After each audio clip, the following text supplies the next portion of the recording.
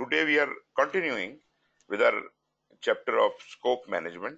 ये पांचवा चैप्टर है और इसमें जो हमने पहले तो इंट्रोडक्टरी बातचीत की ट्रेंड्स वगैरह ओवरव्यू जनरल कॉन्सेप्ट एजाइल की कंडीशन क्या है टेलरिंग कैसे की जाती है, जो कि हम हर चैप्टर में ये चंद हेडिंग जो है वो डिस्कस कर रहे हैं। यहाँ पर भी की हमने। उसके बाद हमने पहला प्रोसेस जो था प्लान स्कोप मैनेजमेंट वो डिस्कस किया। जिसका नतीजा जो था, जो अल्टीमेट उसके आउटपुट थे, वो दो चीज़ें थी। एक रिक्वायरमेंट मैनेजमेंट प्लान था और दूसरा स्कोप मैनेजमेंट प्लान था। और लाजमी बात है कि scope management plan is the main thing और रिक्वायरमेंट मैनेजमेंट प्लान जो है, वो मैंने कहा था कि एक अलग शोबा है जिसमें जो काम तो बिज़नेस एनालिस्ट का है, लेकिन अगर बिज़नेस एनालिस्ट ना हो तो आप ही को करना पड़ेगा एज अ प्रोजेक्ट मैनेजर तो रिक्वायरमेंट्स गैदर की जाती हैं। भले बेशक कॉन्ट्रैक्ट साइन हुआ हो, भले बेशक आपको चार्टर मिला हो बिज़नेस केस बना हो रिक्वायरमेंट पहले से आइडेंटिफाइड हो। इवन देन ये प्रोजेक्ट मैनेजर की ज़िम्मेदारी बनती है कि रिक्वायरमेंट्स को कंफर्म करे। क्योंकि रिक्वायरमेंट बदलती रहती हैं। तो रिक्वायरमेंट्स को कंफर्म करे और उसके बाद एग्री करे और एग्री होने के बाद जब रिक्वायरमेंट्स डिस्कस हो जाती हैं और एग्री हो जाती हैं, उसके बाद हम आते हैं अगले प्रोसेस की तरफ़, जो कि हम इसके बाद पढ़ने लगे हैं। वो है डिफाइन स्कोप डिफाइन स्कोप में इन एग्रीड रिक्वायरमेंट्स को हम प्रोडक्ट का स्कोप बना देते हैं। मतलब वो तमाम फ़ंक्शन एंड फीचर जो कि प्रोडक्ट के अंदर होने चाहिए, वो हमारा प्रोडक्ट स्कोप बन जाता है। और फिर उस प्रोडक्ट स्कोप से हम प्रोजेक्ट का स्कोप निकालते हैं कि वो कौन से काम करने पड़ेंगे, जिनको करके या कौन सा तरीका कार या अप्रोच होगी हमारी, जिससे ये product in features and functions के मुताबिक बनाया जा सके। तो ये है जनाब अली, थोड़ा सा बैकग्राउंड और कल हमने, कहा छोड़ा था? कल हमने जो हमारा कलेक्ट रिक्वायरमेंट्स का प्रोसेस था मतलब हम दो प्रोसेस कर चुके थे, पहला प्लान स्कोप मैनेजमेंट और दूसरा कलेक्ट रिक्वायरमेंट्स के प्रोसेस में हम आखिर में थे। उसके बिल्कुल जो आउटपुट्स हैं, उनको हम डिस्कस कर रहे थे। मैं उन आउटपुट्स को एक दफ़ा आपको ले जाता हूँ पीछे, उसको डिस्कस कर लेते हैं, क्योंकि उनमें कुछ चीज़ें इंपॉर्टेंट हैं। इससे बेशतर के मैं उसके ऊपर जाऊँ, एक और क्वेश्चन पूछा था अभी यूनस साहब ने, और बड़ा अच्छा क्वेश्चन था और नॉर्मल मिसकंसेप्शन भी है तो इसको समझ लेना ज़रूरी है। इन्होंने कहा कि हमारी ऑर्गेनाइजेशन में एस ओ डब्ल्यू बनता है, जो कि स्कोप ऑफ़ वर्क होता है, और रिक्वायरमेंट्स तो उसी के अंदर होती हैं, और प्रोडक्ट्स को भी उसी के अंदर होता है, और प्रोजेक्ट्स को भी उसी के अंदर होता है। तो मैंने इनको फिर ये बताया कि पहली बात तो ये है कि ये जो वर्ड जो है scope of work S O W ये ठीक है, आपके ऑर्गेनाइजेशन में इस्तेमाल होता है, और भी बहुत सी ऑर्गेनाइजेशन में इस्तेमाल होता है, मगर ये internationally this is not a recognised term SOW का मतलब होता है स्टेटमेंट ऑफ़ वर्क एसओडब्ल्यू का कथन ये मतलब नहीं होता कि ये स्कोप ऑफ़ वर्क है। थोड़ा फ़र्क है दोनों चीज़ों में। स्टेटमेंट ऑफ़ वर्क वो एक जनरल स्टेटमेंट होती है, जब आप किसी से कोई काम करवाना चाहते हैं तो जो आप उसको एक ब्रॉड स्टेटमेंट देते हैं यार मेरी गाड़ी ठीक कर दो।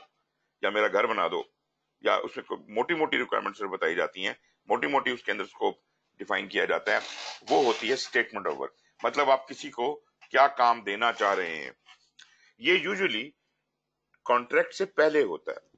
जब आप कॉन्ट्रैक्ट मंगवा, के लिए बिड्स मंगवाते हैं, उस वक्त पहले अपने स्टेटमेंट ऑफ़ वर्क बनाई होती है, उसमें आपने बयान कर दिया होता है कि हमें क्या चाहिए, और वो आप सर्कुलेट करते हैं, उस पर लोग बिड्स देते हैं आरएफपी लेके जाते हैं बिड भरते हैं, वगैरह वगैरह, जो भी कार्रवाई होती है। तो कहने का मतलब है कि आप जो काम कर रहे हैं प्रोजेक्ट कर रहे हैं, इसका कॉन्ट्रैक्ट साइन हो चुका है। इसका स्टेटमेंट ऑफ़ वर्क उससे बहुत पहले बनाया जा चुका होगा। और किसने बनाया होगा? आपने नहीं बनाया होगा।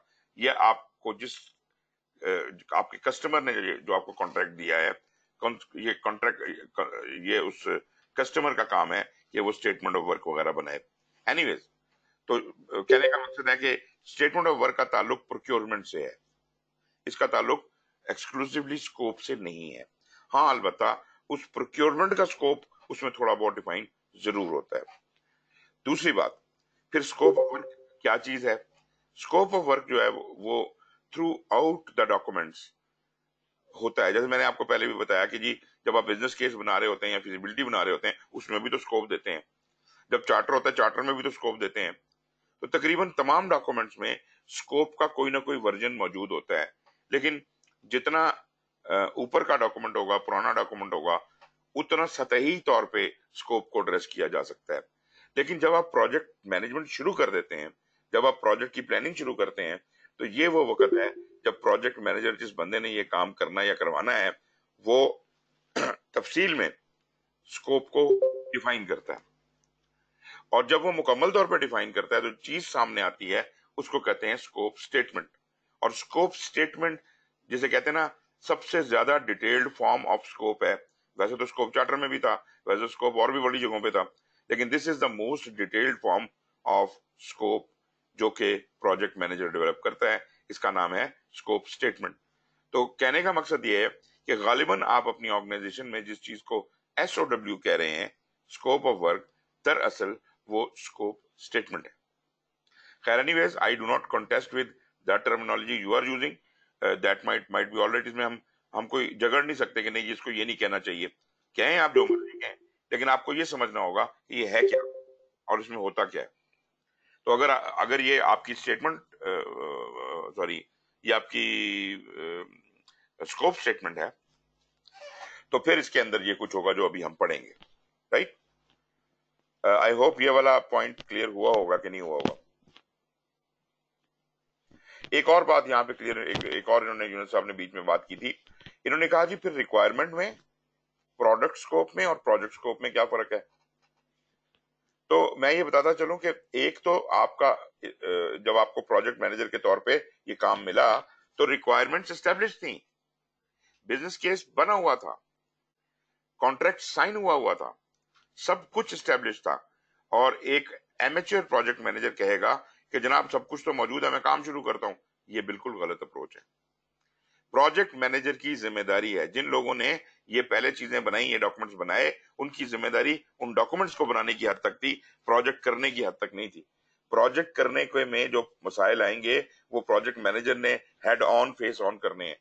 Therefore before he can launch into the project he must confirm all the requirement कहीं और कोई और रिक्वायरमेंट तो नहीं है, कोई कोई रिक्वायरमेंट ऐसी तो नहीं है जो कैंसिल हो चुकी हो, ज़रूरत ही ना रही हो। तो ये कंफर्म करना उसके लिए ज़रूरी है। इस वजह से हमने कहा कलेक्ट रिक्वायरमेंट्स करेंगे। और कलेक्ट रिक्वायरमेंट्स की सूरत में जो रिक्वायरमेंट्स हमारे सामने आएँगी, वो विशेष होंगी हमारे स्टेक होल्डर्स की, जो वो क्या क्या क्या चाहते हैं। उनकी नीड्स एंड एक्सपेक्टेशन होंगी। ज़रूरी नहीं है कि वो सारी की सारी रिक्वायरमेंट जो वो दे रहे हैं, वो अल्टीमेटली एग्री हों और प्रोजेक्ट में डाल दी जाए। उनमें से बहुत सी चीज़ें हम उनको समझा देंगे वो कैंसिल आउट हो जाएँगी कि नहीं यार ये रिक्वायरमेंट तो प्रोजेक्ट के स्कोप में ही नहीं आती। ये तो हमें जो काम दिया गया है जो कॉन्ट्रैक्ट दिया गया है उसके अंदर इसको कवर नहीं किया जा सकता। तो मतलब ये आप पहले इस इस, इस स्टेज पे डिसाइड कर लेते हैं कि कौन सी रिक्वायरमेंट प्रोजेक्ट में मतलब एग्री कर लेते हैं कि प्रोजेक्ट में शामिल होंगी और कौन सी नहीं होंगी। फिर जो अल्टीमेटली डिसाइड होता है कि ये ये रिक्वायरमेंट प्रोजेक्ट में शामिल करनी है। मतलब जो प्रोजेक्ट डॉक्यूमेंट से आप चीज़ें एग्री करके उठाते हैं, उनको हम प्रोडक्ट का स्कोप स्टेब्लिश करने के लिए इस्तेमाल करते हैं। प्रोडक्ट का स्कोप जो है, ये वो एग्रीड रिक्वायरमेंट्स हैं। वो स्पेसिफिकेशन और फीचर्स जो उन एग्रीड रिक्वायरमेंट्स में हमने सिलेक्ट कर लिए हैं कि ये करने हैं, वो आपका प्रोडक्ट का स्कोप बन गया। और इस प्रोडक्ट स्कोप को तकमील पे पहुँचाने के लिए जो काम, जो अप्रोच जो तरीकाकार इस्तेमाल करना पड़ेगा वो सब आपका प्रोजेक्ट का स्कोप है। जी यूनिस साहब। सर इसमें थोड़ी कंफ्यूजन हो रही है। ये बताएँ ये जो हम जब आ, दो पार्टीज़ द्वारा कॉन्ट्रैक्ट साइन होता है कॉन्ट्रैक्ट तो पहले साइन हो चुका होता है उसमें दोनों एग्री करते हैं पार्टीज़ कि ये स्कोप होगा फाइनल रिक्वायरमेंट्स और स्कोप जो भी है वो फाइनल हो चुका है। बिल्कुल उसके बाद जब जब वो कॉन्ट्रैक्ट आता है उसके पास वेंडर के पास वेंडर अपना प्रोजेक्ट मैनेजर जो भी उसका है वो अपना काम शुरू करेगा तो वो कैसे फिर दोबारा उसको चेंज कर सकता है उस उस, उस कॉन्ट्रैक्ट के स्कोप अच्छा, मुझे नहीं होता। मुझे एक बात समझाइए जरा। क्या आपने आज तक ज़िंदगी में कॉन्ट्रैक्ट रीनिगोशिएट होते नहीं देखे? क्या कॉन्ट्रैक्ट में कभी कोई चेंज बाद में नहीं आई? क्या ये मतलब अगर नहीं आई ना तो फिर फिर तो ये कुरान वाली बात होगी कि कुरान कभी तब्दील नहीं हो सकता। कॉन्ट्रैक्ट भले कितना ही ज़बरदस्त क्यों ना हो उसमें तब्दीली वाक्य हो सकती है उसमें बाकायदा तरीका दिया होता है कॉन्ट्रैक्ट के अंदर। कॉन्ट्रैक्ट में तब्दीली लाने का तरीका। कॉन्ट्रैक्ट मैनेजमेंट प्लान के अंदर कॉन्ट्रैक्ट को तब्दील करने का तरीका लिखा होता है कि दोनों पार्टीज़ एग्री करेंगी डिस्कस करेंगी इस तरह मीटिंग बैठेगी ये कार्रवाई होगी। तो तब्दीलियाँ तो आती हैं कॉन्ट्रैक्ट में। ये कौन कहता है कि कॉन्ट्रैक्ट कभी तब्दील नहीं हो सकता? क्यों जी? लेकिन बहुत कम चेंजेस होती बहुत मतलब फाइव टू टेन परसेंट होगा कम या ज़्यादा मैक्सिमम मतलब नहीं नहीं कम या ज़्यादा से हमारा मतलब नहीं है। मतलब ये है कि एक कोई पत्थर पे लकीर तो नहीं है ना? ये कुरान तो नहीं है ना? अब डिपेंड करता है कि आप किस किस्म का प्रोजेक्ट कर रहे हैं। अगर तो आप एक ऐसा प्रोजेक्ट कर रहे हैं जिसका स्कोप बड़ा अनस्टेबल है तो वहाँ चेंजेस कॉन्ट्रैक्ट में बहुत ज़्यादा आएँगी। अगर आप कोई ऐसा काम कर रहे हैं जिसमें स्कोप प्रिटी मच एस्टेब्लिश्ड है और उसमें बहुत ज़्यादा तब्दीली आने की ज़रूरत नहीं है, जो कि आपका केस है, आप कह रहे हैं 90 टू 95 परसेंट उसमें तब्दीली नहीं आती तो मैं एग्री करूँगा कि ऐसे प्रोजेक्ट होते हैं जिसमें बहुत ज़्यादा तब्दीली नहीं आती, लेकिन ये कहना बिल्कुल गलत है कि बिल्कुल भी तब्दीली आने का चांस ही खत्म हो गया। तो वो दरवाज़ा खुला रखना है और बाकायदा कॉन्ट्रैक्ट में भी लिखा हुआ है कि ये दरवाज़ा कैसे खोलना है, किसने खोलना है। मतलब वो पूरा तरीका उसके अंदर डिफाइंड है कि किन किन हालतों में कॉन्ट्रैक्ट में तब्दीली लाई जा सकती है। एक तो ये बात होगी दूसरी बात ये है कि जो ये दोनों पार्टियाँ कॉन्ट्रैक्ट साइन कर रही हैं, क्या ये इनके पास कोई गैबी इलम है और ये एग्जैक्टली exactly बता सकते हैं कि कल क्या होने वाला है? ये जो कुछ भी है, ये एक एस्टीमेट के ऊपर, एक अंदाजे के ऊपर एग्रीमेंट हुआ है कि हमारे ख्याल में ऐसा ऐसा करेंगे तो ऐसा हो जाएगा। अगर वैसा वैसा ना हुआ, कुदरत में कोई ऐसी सूरत हाल अक्कर हुई, जो रिस्क अक्कर हुए, कोई ऐसी अनसर्टेनिटीज अक्कर हुई, जिसकी वजह से वो चीज़ें उस तरह पाया तकमील तक ना पहुँच सकी तो ये उन दोनों पार्टीज़ में से किसकी ज़िम्मेदारी में आएगा? यहाँ तक लिखा होता है फोर्स मेजोर के बारे में भी कॉन्ट्रैक्ट में लिखा होता है, कि अगर कोई ऐसी चीज़ है जो दोनों पार्टियों के काबू में से बाहर है और कुदरती आफत है तो उसका जो डैमरेज होगा वो होगा तो सही, उसका असर तो होगा, वो दोनों पार्टियाँ बराबर का उसे तकसीम करेंगी। मतलब वो किसी एक को हम इल्ज़ाम नहीं दे सकते। मिसाल के तौर जिसके साथ कॉन्ट्रैक्ट साइन हो गया है, जंग हो गई है, आप कहें जी तुमने डिले कॉज कर दिया तो वो आप उसको डिले कॉज नहीं कह सकते। मेरा मतलब कॉन्ट्रैक्ट तो एक बड़ी जामे किस्म की चीज़ है और उसमें ये जितनी बातें मैं कह रहा हूँ, ये सब केटेड फार है।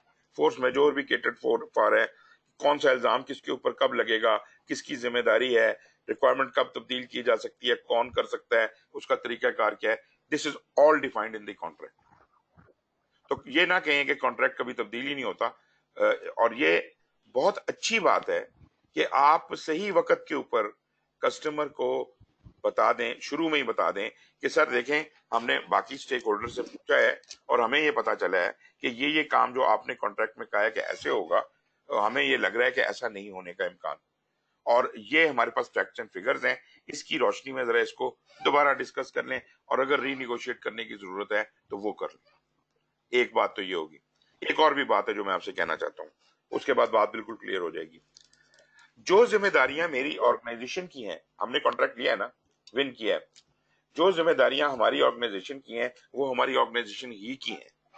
अगर हमने कहा है कि हम ये काम हमारी ज़िम्मेदारी में आता है और हम ये कंप्लीट करेंगे इतने पैसे में। इतने ही पैसे आपसे डिमांड करेंगे से ज़्यादा नहीं करेंगे।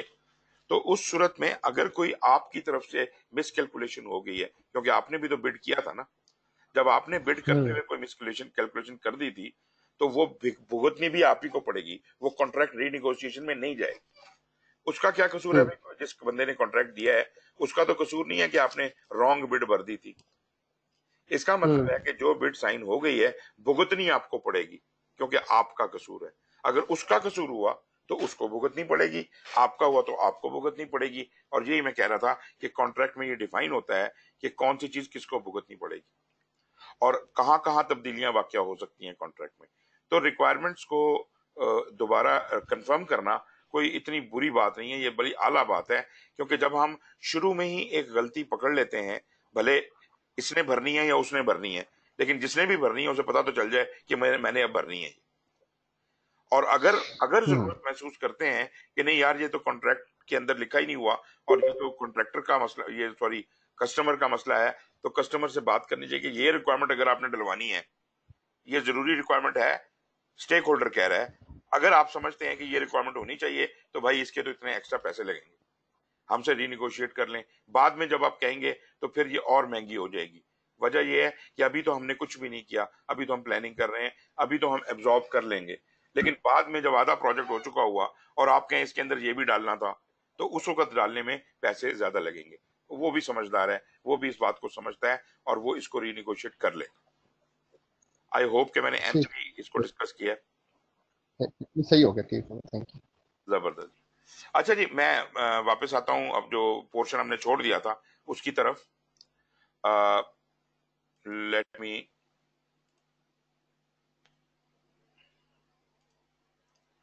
एक मिनट जी। हाँ जी।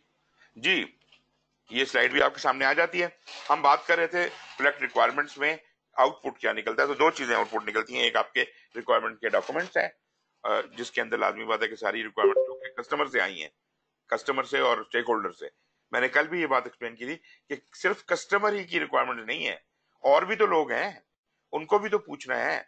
तो हो सकता है कि कस्टमर सिर्फ़ ब्लाइंड साइडेड हो, उसको कुछ चीज़ें नज़र आ रही हो, कुछ ना आ रही हो तो हम बाकी स्टेक होल्डर से पूछते हैं। तो जैसे मैंने कल आपको एग्ज़ाम्पल दी कि आप सड़क बना रहे हैं और एक कम्युनिटी वहाँ रहती है, वो कहती है, हमारी तो एंट्रेंस का रास्ता ही बंद कर दिया आपने। और वो प्लान में नहीं था तो बाद में उसको शायद प्लान में डालना पड़ेगा, उसको कोई एंट्री देनी पड़ेगी उन लोगों को। तो इस, या जैसे मैंने आपको वो सरिये वाली एग्ज़ाम्पल दी थी कि लिखा हुआ है कि ये वाला सरिया इस्तेमाल होगा तो वो तो मार्केट में अवेलेबल नहीं है, ठेकेदार ने बताया हमें। तो इसका मतलब है ठेकेदार स्टेक होल्डर है, उसने जब बताया तो उसकी वजह से हमें डिज़ाइन चेंज करना पड़ गया। तो ये सब बातें जो हैं, ये आप ये इस बात को एम्फेसाइज करती हैं कि रिक्वायरमेंट्स बदल सकती हैं। खैर तो रिक्वायरमेंट डॉक्यूमेंट्स में आप वो तमाम नीड्स एंड एक्सपेक्टेशन जो वेरियस स्टेक होल्डर्स की हैं, वो रिकॉर्ड कर लेते हैं। और जब आप ये रिकॉर्ड कर रहे होते हैं तो इस वक्त ये नहीं होता कि जनाब, तुम्हारी बात सुनूँगा, तुम्हारी नहीं सुनूँगा। या ये बात बहुत मामूली है, ये मैं नहीं सुनता।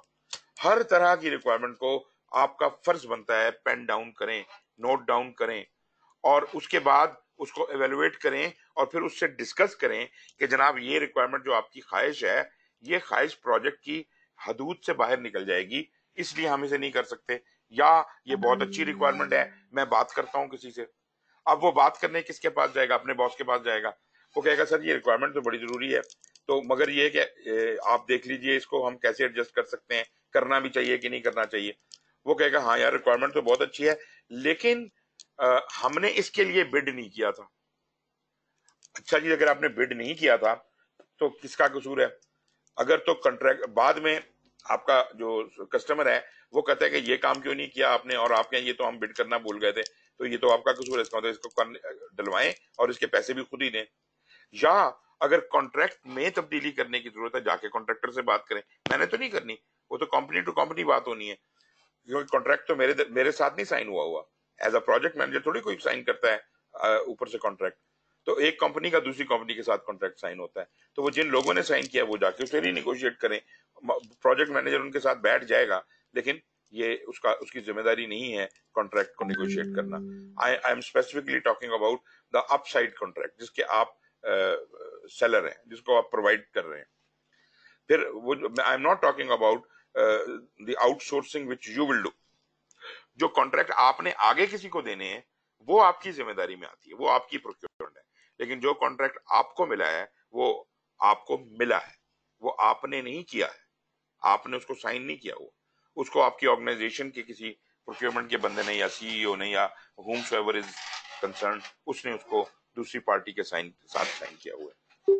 खैर जी ये बात हो गई। तो रिक्वायरमेंट डॉक्यूमेंट्स के हवाले से क्या क्या चीज़ें हैं? इसमें हाँ, बुनियादी तौर पे जो चीज़ है मैं जिसके ऊपर फोकस करना चाहता हूँ वो ये है कि रिक्वायरमेंट्स होती कितनी किस्म की हैं। तो रिक्वायरमेंट डॉक्यूमेंट जो है वो ये डिस्क्राइब करता है कि हर एक जो इंडिविजुअल रिक्वायरमेंट है, वो कैसे आपके बिज़नेस नीड को पूरा करती है। या जैसे आप कहा था प्रोजेक्ट ऑब्जेक्टिव को ऑर्गेनाइजेशन के ऑब्जेक्टिव को बिज़नेस नीड को बिज़नेस वैल्यू को मतलब उसकी तरफ़ कैसे कंट्रीब्यूट कर रही है। अगर कोई रिक्वायरमेंट आपको लगता है कि प्रोजेक्ट के मकासद के लिए सूदमंद नहीं है, ऐसी रिक्वायरमेंट्स को प्रोजेक्ट के अंदर नहीं होना चाहिए। रिक्वायरमेंट्स में start out of a high level जैसे मैंने आपको कहा कि रिक्वायरमेंट्स तो पहले भी मौजूद हैं और वो हो सकता है हाई लेवल की हो मोटी मोटी रिक्वायरमेंट्स हो, लेकिन अब वो वक्त आ गया है प्रोग्रेसिवली एलेबोरेट होते होते कि हम तफसील से एक एक रिक्वायरमेंट दे सकते हैं। ये भी एक वजह है कि जो रिक्वायरमेंट्स हमारे पास पहले से थी, वो शायद ब्रॉड थी। अब उन रिक्वायरमेंट्स को खोद के एक्सप्लेन करना है। तो हम इस वजह से भी स्टेक होल्डर के पास जा रहे हैं, क्योंकि हमने इन्हीं रिक्वायरमेंट की बुनियाद के ऊपर कैलकुलेशन करनी है, और मोटी मोटी रिक्वायरमेंट्स के ऊपर कैलकुलेशन नहीं हो सकती। तो रिक्वायरमेंट्स को एक्सप्लेन भी तो करवाना है। And become progressively more detailed as more information about the requirement is known तो आई होप कि ये पॉइंट भी क्लियर हो गया कि रिक्वायरमेंट एक तो तब्दील हो जो तब्दीली होती हैं रिक्वायरमेंट में वो यहाँ पे एक्सप्लोर होती हैं। और एक फर्दर एलेबोरेशन भी तो एक्सप्लोर होती है कि जो रिक्वायरमेंट मोटी मोटी दी गई थी, उसको मजीद खोला जा सके, तफसील से समझा जा सके। Before being baseline requirements finalise करने से पहले या एग्री करने से पहले requirements need to be unambiguous ये देखें, बड़ा इंपॉर्टेंट है कि वो बंदा कहता है कि यार अच्छा होना चाहिए। और भाई, आपका क्या मतलब है? ये चीज़ अच्छी होनी चाहिए। Be very clear about it कि नहीं जी, ये बस मतलब थोड़ा अच्छा होना चाहिए ना, और अच्छा करें। ये तो कोई एक्सप्लेनेशन ना हो कि अच्छा होना चाहिए। तो that must be properly unambiguous measurable और टेस्टेबल होना चाहिए।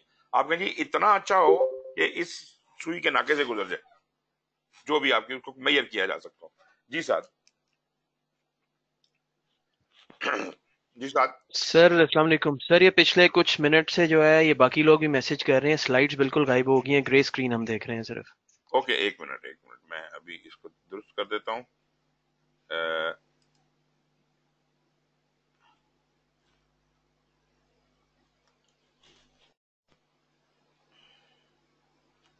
नहीं आया जी अभी तक? सर नहीं अभी तक नहीं है। अब आ गया होगा। जी सर आ गया। थैंक यू एनीवेज ये इससे पहले एक ही स्लाइड थी, मैं पीछे चला जाता हूँ। आपको दिखाता हूँ। उसमें कोई खास एक वही, एक बात थी जो मैंने आपसे की है। Actually presentation gets very slow on net I don't know why सही मतलब it is a difficult job to ये था जी, पहली आपकी स्लाइड थी कि requirement document describe how individual requirement meet the business need ये मैंने पहले आपसे बात की। दूसरा रिक्वायरमेंट जो शुरू में गैदर की गई थी मतलब वो हाई लेवल की थी। जैसे जैसे हम आगे चलते जाते हैं तो रिक्वायरमेंट तफसीली होती जाती है और सबसे ज़्यादा तफसीली रिक्वायरमेंट प्रोजेक्ट मैनेजर इकट्ठी करता है। या फॉर दैट मैटर प्रोजेक्ट शुरू होने के बाद इकट्ठी होती है। वो बात तो हम पहले कर ही चुके हैं कि काम तो ये बिज़नेस एनालिस्ट का है, लेकिन अगर बिज़नेस एनालिस्ट नहीं है तो फिर प्रोजेक्ट मैनेजर को करना पड़ेगा। तो प्रोजेक्ट के अंदर हो रही है तो हम इस हवाले से प्रोजेक्ट मैनेजर की ज़िम्मेदारी की तरफ़ इसको डाल देते हैं। अच्छा जी रिक्वायरमेंट फाइनलाइज बेसलाइन का मतलब है फाइनलाइज होने से पहले ये इंश्योर करना है कि रिक्वायरमेंट जो है वो मेयरेबल हो अनएम्बिगुअस हो। कोई शकूक को शुबाक से पाक पाक हो मेयरेबल हो, उसको नापा तोला जा सके टेस्ट किया जा सके। मतलब आप टेस्टिंग क्राइटेरिया भी साथ दे दें। आप कहेंगे, ये चीज़ जनाब इतनी वाइट हो और इसको टेस्ट करने के लिए आप फलानी टेम्पलेट के अगेंस्ट रख के चेक कर सकते हैं। तो टेस्टेबिलिटी भी बता दें साथ ही। ट्रेसेबिलिटी भी बता दें। कंप्लीट कैसे कहलाएगी वो चीज़? उसका क्या कहते हैं? क्राइटेरिया ऑफ़ डन भी बता दें कि how we will consider it complete consistent and acceptable to the key stakeholder मतलब आपको पता ही है कि बहुत से स्टेक होल्डर्स हैं और हमने सबके साथ बैलेंस आउट करना है। तो वो कौन सा कंसिस्टेंसी लेवल है जिसमें सारे स्टेक होल्डर सेटिस्फेक्शन पे पहुँच सकते हैं? बड़ा मुश्किल काम है रिक्वायरमेंट्स कोई आसान काम नहीं है। मेरा ख्याल है मैंने आपको वो एग्ज़ाम्पल दी थी कि जो स्टेक होल्डर के हवाले से कहा था कि वो गदा सर पे उठाने वाली बात है। ये एग्जैक्टली वही बात है कि यहाँ पर आप सबको खुश रख तो नहीं सकते, लेकिन ये आपका आर्ट है एज अ प्रोजेक्ट मैनेजर कि आप सबकी, सबको कंसेंसस कैसे गेन करते हैं। अगर सबकी बात एग्री हंड्रेड परसेंट ना भी हो सकती हो तो बाकी लोगों को कंसेंसस गेन करते हैं कि ये जनाब थोड़ा सा आप छोड़ें, थोड़ा सा आप तो अल्टीमेटली ऐसी सिचुएशन उनके सामने रखते हैं जो सबके लिए हो format of the requirement document may range from a simple document depend करता है ना जी प्रोजेक्ट किस किस्म का है, कितना कॉम्प्लिकेटेड है। अगर तो सादा सा प्रोजेक्ट है, छोटा सा प्रोजेक्ट है तो शायद उसको एक आध पेज की रिक्वायरमेंट्स होंगी उसकी। अगर ज़्यादा कॉम्प्लिकेटेड है, हो सकता है कि मैनुअल के मैनुअल बने हुए हों उसकी रिक्वायरमेंट्स के, और आप, मेरा ख्याल है डील भी करते हैं इस किस्म की सिचुएशन के साथ। जिसके अंदर ऑल दी रिक्वायरमेंट्स उनको कैटेगराइज किया जाता है by stakeholder by priority to more elaborate forms containing an executive summary detail description attachment drawings भी हो सकती हैं उसमें उसमें और कोई स्पेसिफिकेशंस भी हो सकती हैं स्टैंडर्ड्स के भी लिंक हो सकते हैं। तो कहने का मतलब है कि this could be a very detailed document also. अच्छा जी, बहुत सी ऑर्गेनाइजेशन जो हैं, वो इसको रिक्वायरमेंट्स को जो कैटेगराइज करती हैं, वो मुख्तलिफ़ किस्मों में करती हैं। अब ये बड़ा इंपॉर्टेंट पॉइंट है कि रिक्वायरमेंट्स को कैसे कैटेगराइज किया जा सकता है। कुछ लोग, इसको कहते हैं जी ये बिज़नेस और टेक्निकल रिक्वायरमेंट्स होती हैं। बिज़नेस रिक्वायरमेंट हुई जो बिज़नेस ऑब्जेक्टिव को या बिज़नेस वैल्यू को और वो उन चीज़ों को टारगेट करें और टेक्निकल जो टेक्निकल सोल्यूशन को टारगेट करें। Former referring to the stakeholder need in the latter as to how these needs will be implemented तो टेक्निकल है कि काम कैसे होगा। तो requirements can be grouped into classifications allowing for further refinement and detail as the requirement are elaborated. मतलब आपकी मर्ज़ी है आप अपनी रिक्वायरमेंट्स को किन कैटेगरीज में डिस्ट्रीब्यूट करना पसंद करते हैं लेकिन जनरली रिक्वायरमेंट्स जो हैं उनको एक आपको मैं गाइडलाइन ज़रूर दे, दे, दे सकता हूँ। वो ये है जी कि this is the general classification मैं ये नहीं कह रहा हूँ कि आप सौ फ़ीसदी यही क्लासिफिकेशन इस्तेमाल करें आप अपनी बना लें आपके ऑर्गेनाइजेशन का अपना मजाज है कि वो जो मर्ज़ी करें। लेकिन जनरली स्पीकिंग ये देखा गया है कि रिक्वायरमेंट्स इन किस्मों की होती हैं।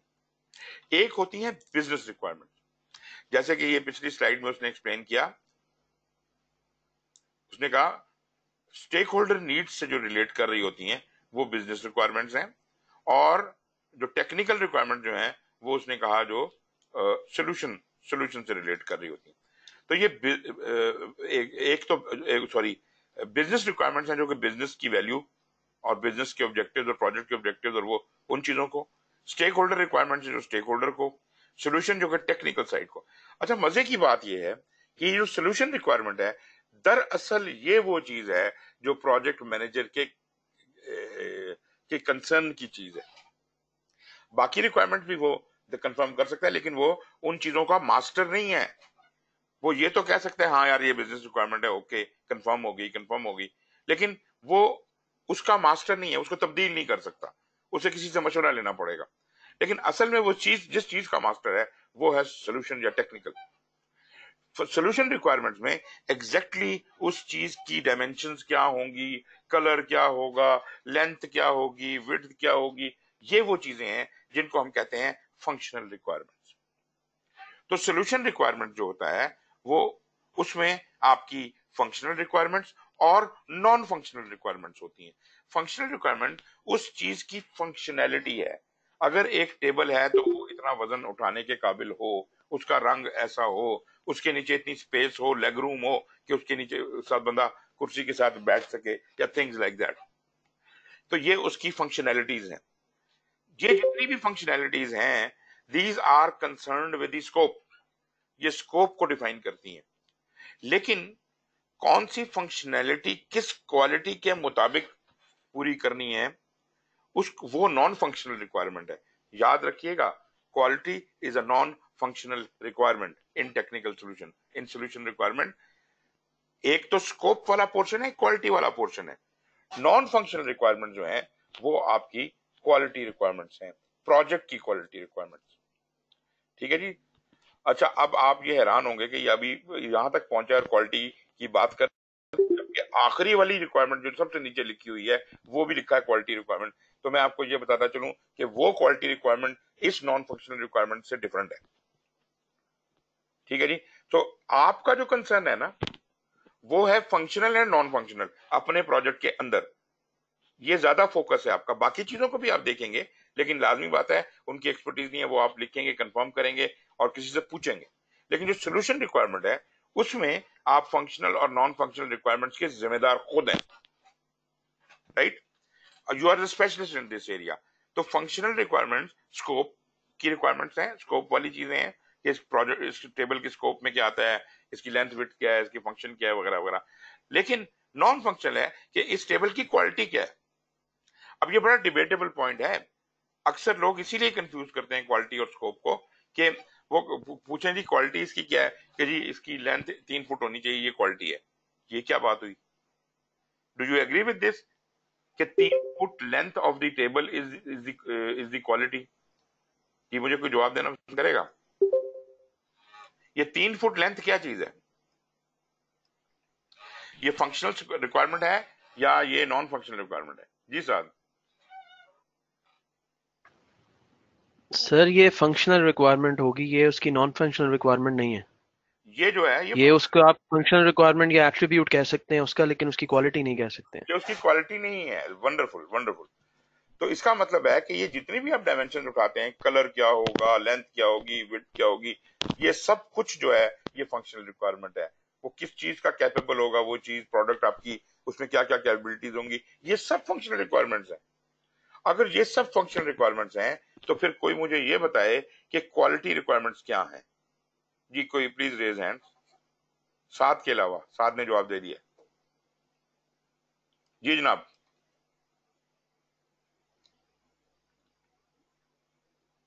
जी मोहम्मद यूसुफ साहब। जी सर बोले। आवाज़ आ रही है? जी जी बिल्कुल आ रही है। अच्छा सर जिस तरह साह साहब ने बता दिया कि फ़ंक्शन में जिस तरह उनका फ़ंक्शन बता दिया कि मेन फ़ंक्शन सर उसकी जो क्वालिटी है उसमें ये कि उसका कलर किस तरह होना चाहिए उसका जो कलर है आ, उसका जो डायमेंशन है वो उसकी क्वालिटी में आता है। सर ये तो उन्होंने कह दिया कि ये तो डायमेंशन तो फंक्शनल रिक्वायरमेंट है। कलर तो functional requirement sir sir colour white होना चाहिए। जिस तरह मैं आपने आपने सर बता दिया कि तीन फुट की मैं एक टेबल की बात बता रहा हूँ या टेबल है चेयर है। जी जी। और उसकी सर चेयर का जो वो है कलर है क्या होना चाहिए टेबल का?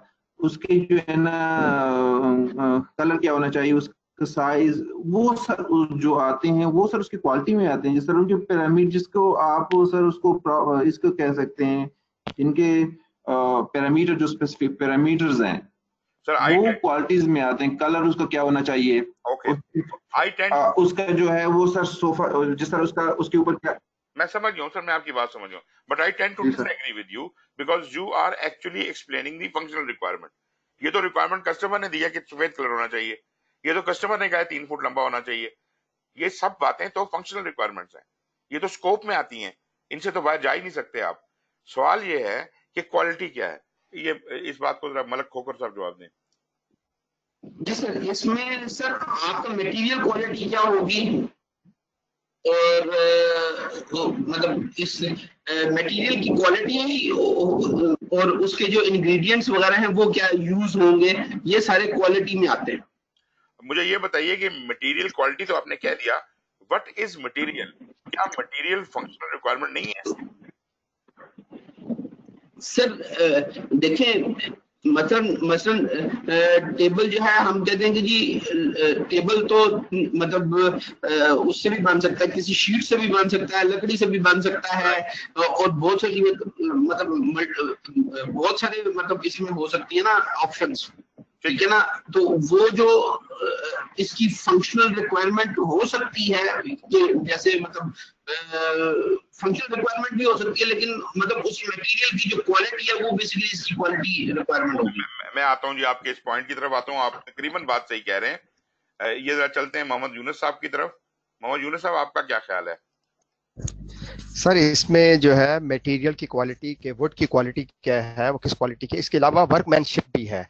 वर्कमैनशिप जो उसका बना रहा है वो कितनी महारत से उसको आ, उसको मतलब कुर्सी या मेज को बनाता है उसको। तो वो वर्कमैनशिप भी इसमें अंदर आती है वर्कमैनशिप है ना सर ये क्वालिटी अश्योरेंस में आ जाती है। मैं इस वक्त स्पेसिफिकली क्वालिटी कंट्रोल के पॉइंट ऑफ़ व्यू से देख रहा हूँ डिलीवरेबल में मैं क्या चेक हाँ। करूँ? अच्छा चले मैं आप लोगों की ज़िंदगी आसान बना देता हूँ।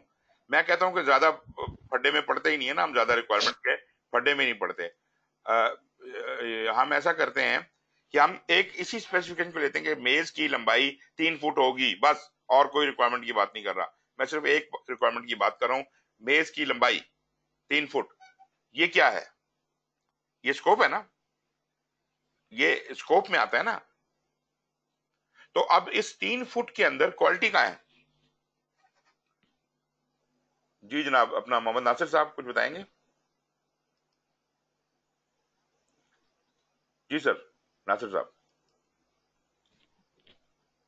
तीन फुट के टेबल में, ये जो तीन फुट उसकी लंबाई है, ये उसकी स्पेसिफिकेशन है ना? तो ये उसकी फंक्शनल रिक्वायरमेंट है। अब इसकी, तीन फुट की क्वालिटी आप कैसे इंश्योर करेंगे? क्वालिटी क्या है इसके अंदर? सर, आपका माइक नहीं ऑन अनम्यूट कीजिएगा। और लोगों ने भी हाथ खड़े किए हुए फिर मैं उनकी तरफ़ जाऊँ।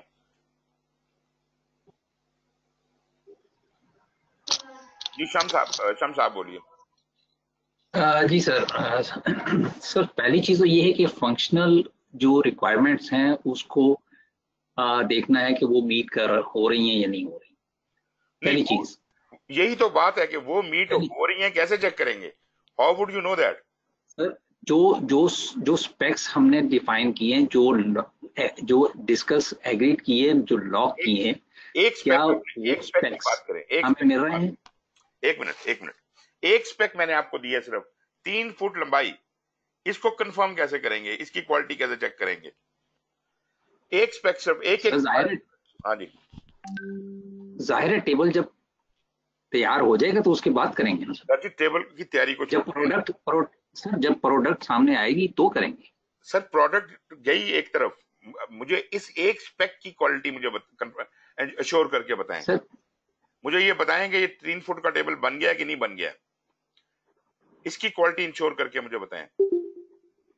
कैसे करेंगे? How would you know that this table which has been created is of तीन थ्री फीट लेंथ ये है क्वालिटी क्वालिटी इसको कहते हैं। तीन फुट क्वालिटी नहीं है।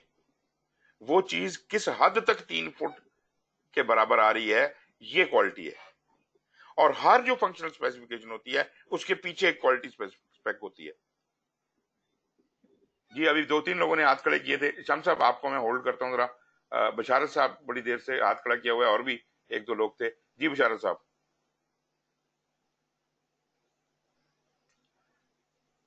जो लोग हाथ खड़ा करते हैं तो खड़ा रखा करें ताकि मुझे पता चले कि आपसे भी बात मैंने करनी है। जी, बशारत साहब।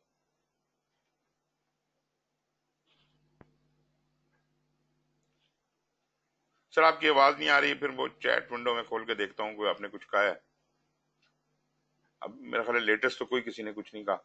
बशारत साहब की आवाज़ नहीं आ रही, so I am sorry, Shams के पास वापस आता हूँ। जी, शम्स।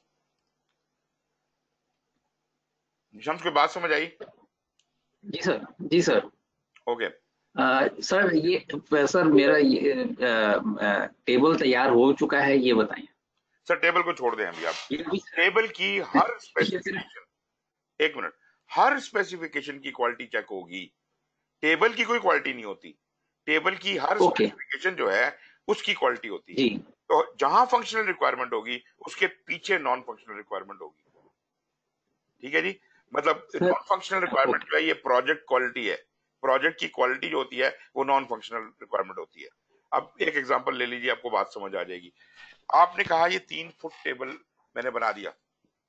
आपने पेश किया मुझे मैं कस्टमर था आपका। मैंने कहा जी ये टेबल मैं रिजेक्ट करता हूँ। मैंने रिजेक्ट कर दिया भाई आपका टेबल मैंने आपको रिक्वायरमेंट में दिया था कि तीन फुट लंबा होना चाहिए। मैंने लंबाई के ऊपर ही रिजेक्ट कर दिया। मैंने कहा ये तीन फुट नहीं है। आप क्या कर लेंगे?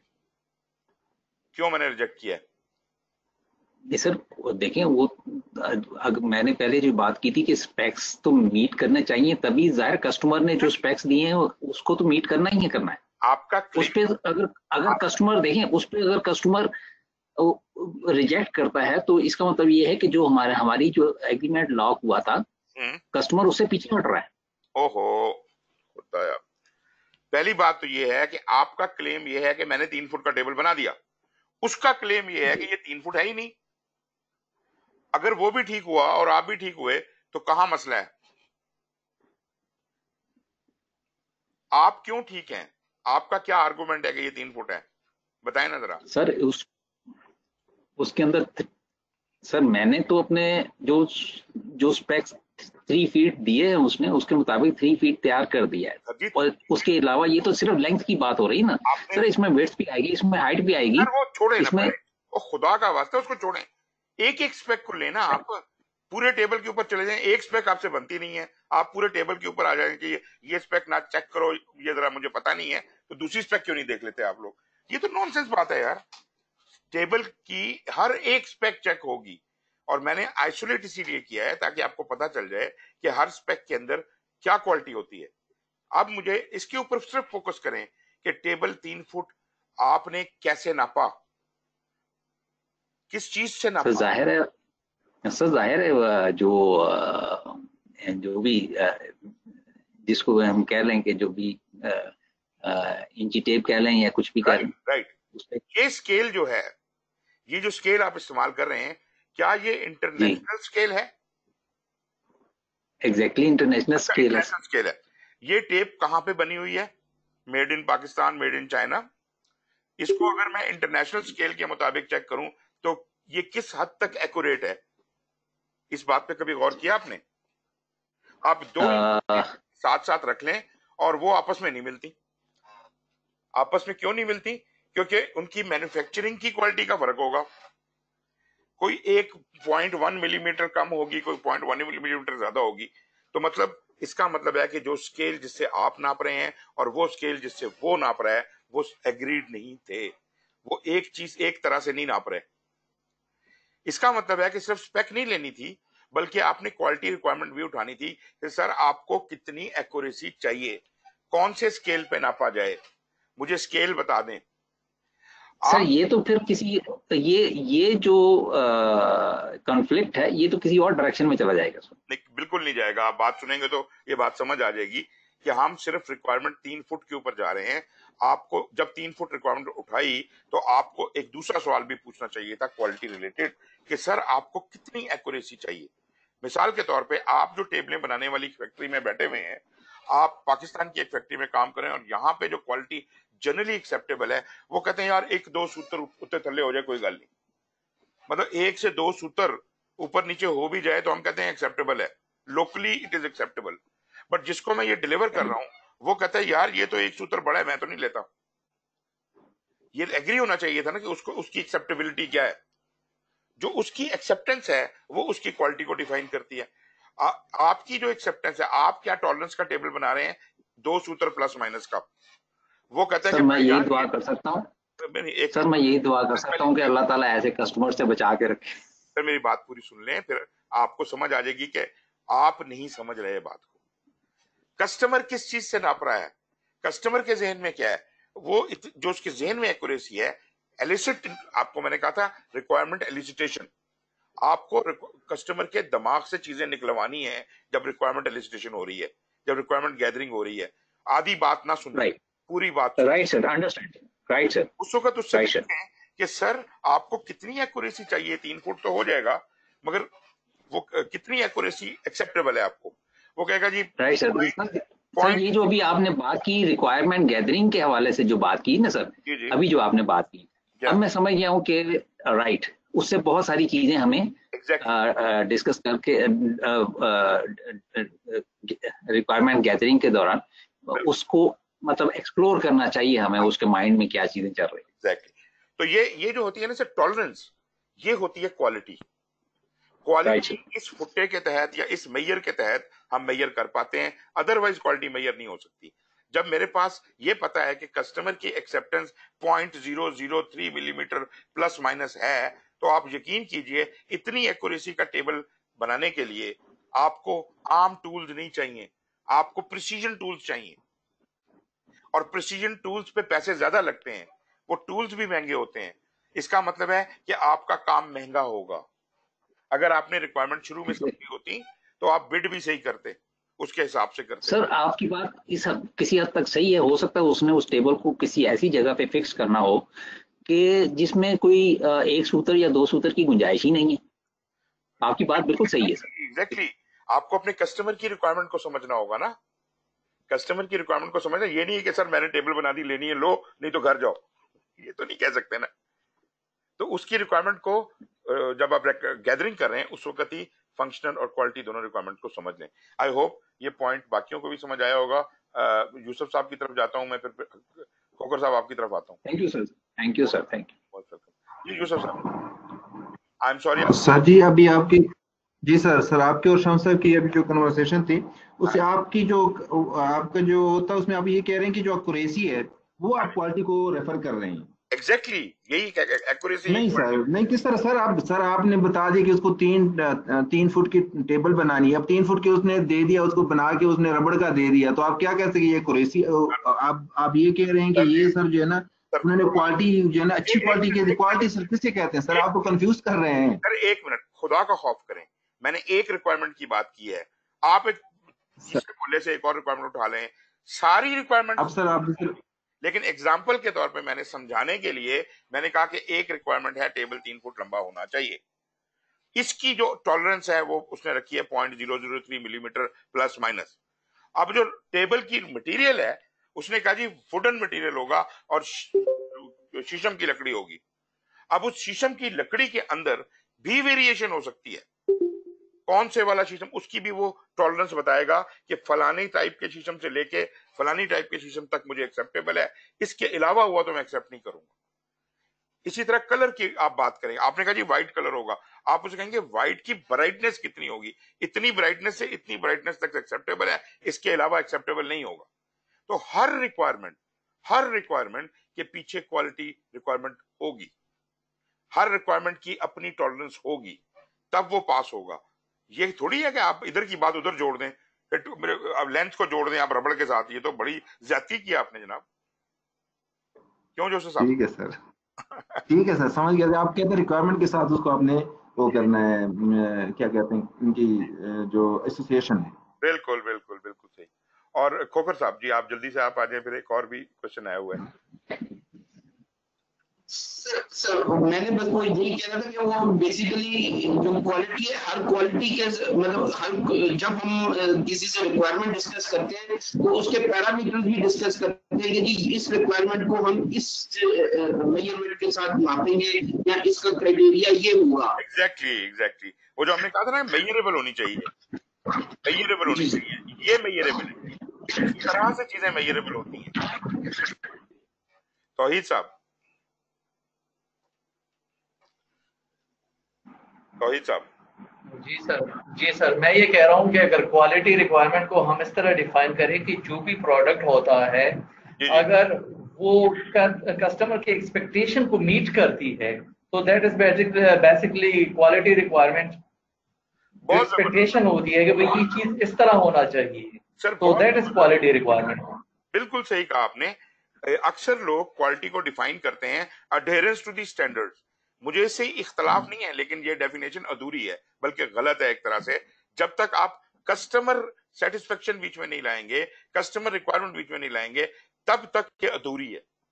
स्टैंडर्ड बाद में आते हैं भाई एक आदमी कहता है भाड़ में जाए ऐसो स्टैंडर्ड मुझे तो ऐसी चीज़ चाहिए। कस्टमर जो मांग रहा है उसको जब वो प्रोवाइड करते हैं वो खुश होता है। आप उसे कहें नहीं जी मैं आपको ये नहीं देता ये तो इंटरनेशनल स्टैंडर्ड दूँगा मैं। वो कहता है भाई इंटरनेशनल स्टैंडर्ड मैं अफोर्ड ही नहीं कर सकता मेरी औकात ही नहीं है। कि मैं इंटरनेशनल स्टैंडर्ड को अफोर्ड कर सकूँ तो मुझे बस ऐसी चीज़ बना दो। तो कस्टमर की जो रिक्वायरमेंट होती है वो पूरी करनी होती है। स्टैंडर्ड जो है वो रेफरेंस के तौर पे इस्तेमाल होते हैं। एक बात तो ये बड़ी अच्छी सामने आ गई। जी मलक अली खोकर साहब। नहीं सर ये वो मैंने हाथ ऊपर नहीं किया दोबारा अच्छा अच्छा ओके। राइट मेरा ख्याल है काफ़ी इस बात पर डिस्कशन होगी लेकिन मुझे इस बात का यकीन है कि बहुत से लोगों के अभी भी शकूक शुबात ज़रूर होंगे, क्योंकि ये टॉपिक ही ऐसा है, इसके ऊपर इवन क्वालिटी के सर्कल के लोग खुद भी बड़े कंफ्यूज हैं। लेकिन मैं ये समझता हूँ और जानता हूँ कि जो लोग क्वालिटी में क्वालिटी के में भी जो अच्छे पढ़े लिखे लोग हैं, वो मेरा ये पॉइंट अच्छी तरह से समझते हैं। द इंटरेस्टिंग पार्ट इज़ कि मैं नेचुरली बड़े अरसे से पढ़ा रहा हूँ। मैं आपको यकीन कराऊं कि मैंने ये ऑब्ज़र्व किया कि ये जो है अपना पीएफ के जो कामरा में काम होता है, जो लोग वहाँ से आते हैं, वो इस पॉइंट को बहुत वाजे तौर पे समझते हैं। मैं बात करता हूँ तो वो फ़ौरन कहते हैं बिल्कुल, ये ऐसे ही होता है। तो ये जो प्रोडक्ट क्वालिटी और ये सारा सिलसिला है product quality project quality product को प्रोजेक्ट को प्रोडक्ट्स को प्रोजेक्ट्स को इन दोनों, इन चीज़ों को समझने की ज़रूरत है। स्कोप यूज़र एक्सेप्टेंस से ताल्लुक रखता है फंक्शनैलिटी यूज़र एक्सेप्टेंस से ताल्लुक रखती है। आखिर में बैठ के जब आप कहते हैं हाँ जी, तीन फुट टेबल था था। वुडन अपना शीशम की लकड़ी का था था। फलानी चीज़ थी थी। ये चेक लिस्ट होती है फ़ंक्शन जो यूज़र एक्सेप्टेंस होती है।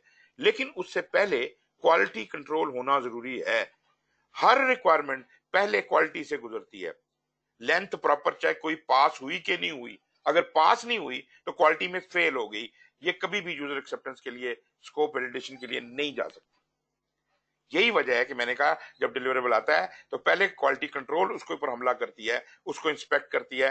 अगर तो वो क्राइटेरिया पे क्वालिटी के पूरा उतरता है, तब तो एक्सेप्टेबल है। और वो क्या है? वो टॉलरेंस लिमिट्स हैं। टॉलरेंसेज हैं। अगर उस पर पूरा उतरता है, तब पास होगा, नहीं तो नहीं होगा। वापस चला जाएगा, ठीक करके भेजो। और इसी तरह जब वो चीज़ आगे आती है, आप, वहाँ पे यूज़र एक्सेप्टेंस में तो उसने सिर्फ़ ये देखने सारे फीचर पूरे हैं कि नहीं? यूज़र एक्सेप्टेंस और कुछ भी नहीं। हाँ मैं ये ज़रूर समझता हूँ कि अक्सर ऑर्गेनाइजेशन में ये दोनों काम इकट्ठे किए जाते हैं और इनको एक ही काम समझा जाता है, जो कि किया तो जा सकता है, लेकिन इसकी समझ आपको होनी चाहिए कि ये क्वालिटी वाला काम कर रहे हैं, ये स्कोप वाला काम कर रहे हैं। कंफ्यूजन नहीं होनी चाहिए कि ये दोनों काम, इनको बिल्कुल ही आप गढ़संबा नहीं बना सकते। लोग यूज़र एक्सेप्टेंस को कहते हैं, जी, ये क्वालिटी टेस्ट है। मतलब अजीब किस्म की बात है। यूज़र एक्सेप्टेंस कैसे क्वालिटी टेस्ट हो सकता है? तो खैर एनीवेज ये बड़ी डिटेल वाली डिस्कशन है और मेरा उम्मीद है कि मैं कुछ थोड़ी बहुत सेंस प्रवेल करवाई होगी मैंने। क्या ख्याल है जी? इज़ इट ओके या अभी भी आपके दिमाग में कोई सवालात जंप मार रहे हैं?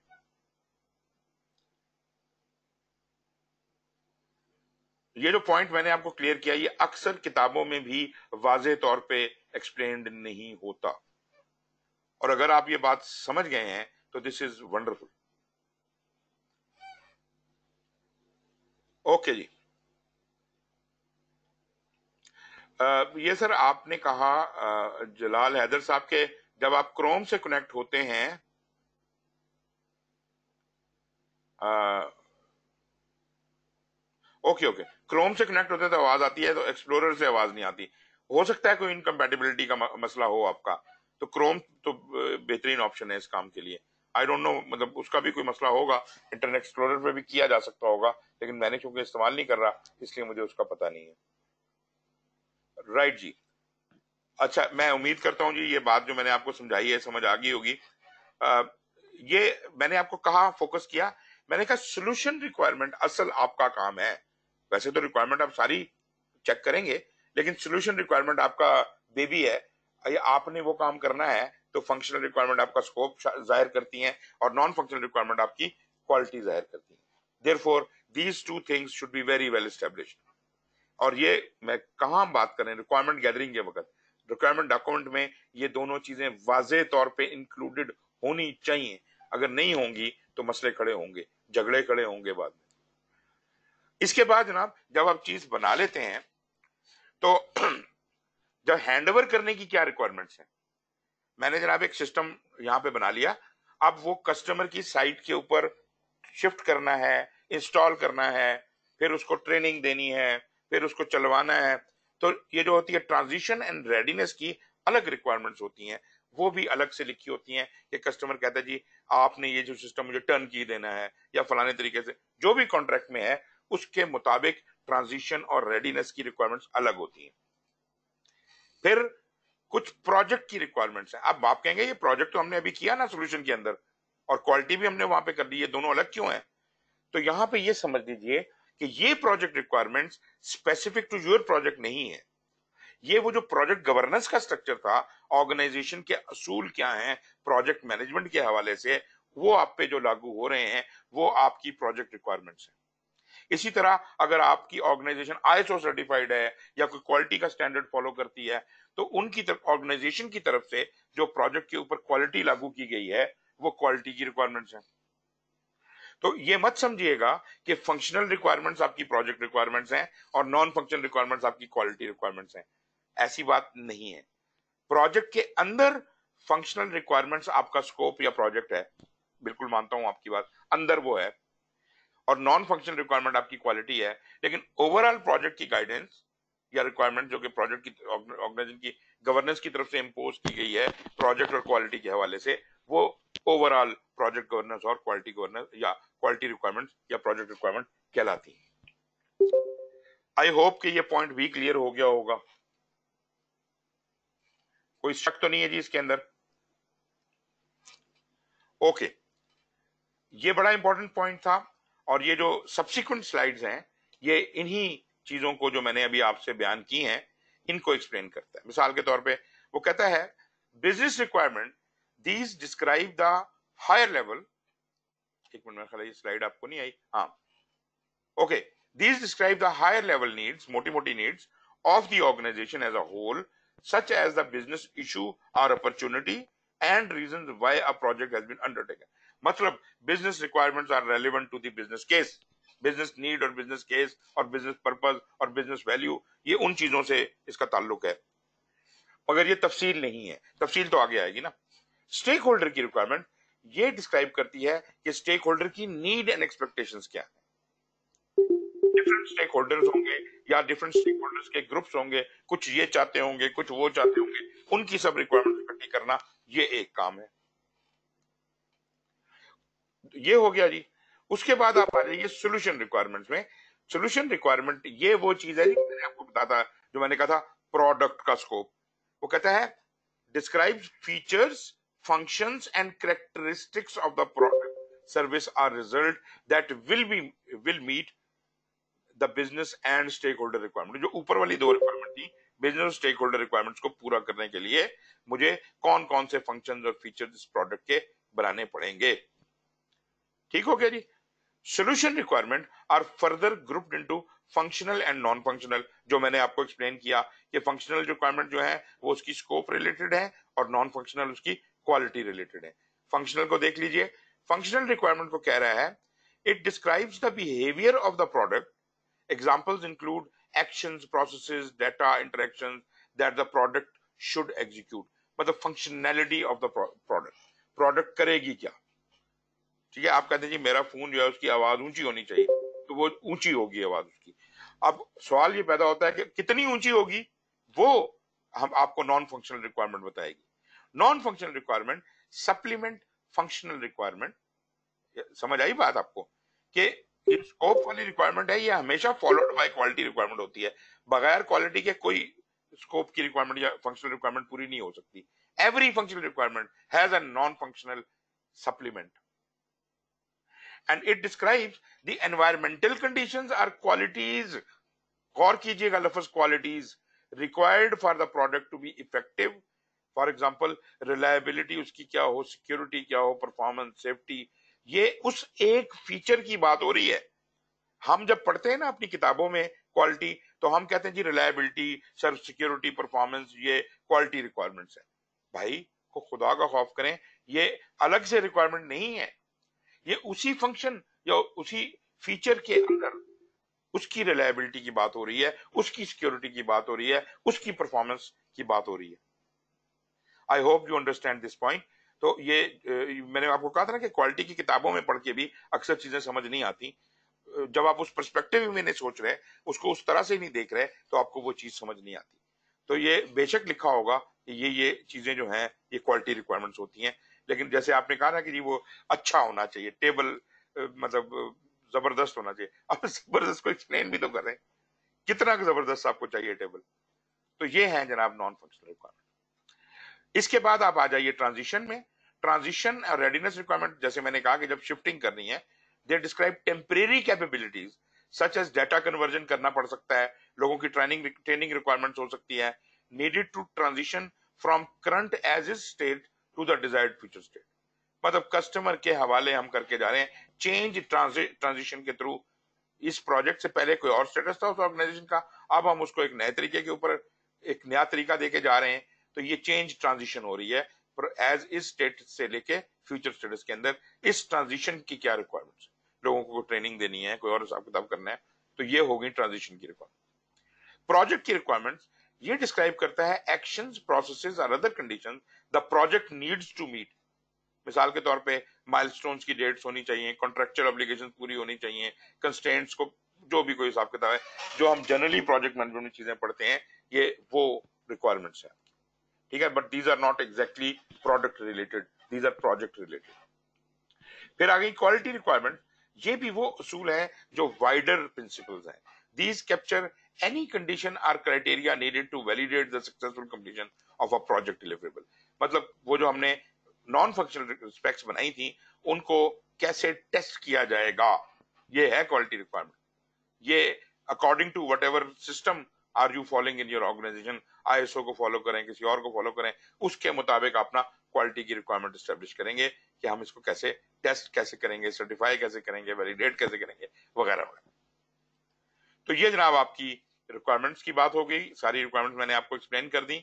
फिर आ जाती है रिक्वायरमेंट ट्रेसिबिलिटी मैट्रिक्स मैंने आपको बताया था कि रिक्वायरमेंट हर रिक्वायरमेंट को बकायदा ट्रेस करने का मैकेनिज्म होना चाहिए। ये रिक्वायरमेंट आई कहाँ से? क्यों आई? कौन से बिज़नेस हमारी बिज़नेस ऑब्जेक्टिव को या वो टारगेट कर रही है? क्यों ये ज़रूरी है ऑर्गेनाइजेशन के लिए? ये, इसका बैकवर्ड कनेक्शन है।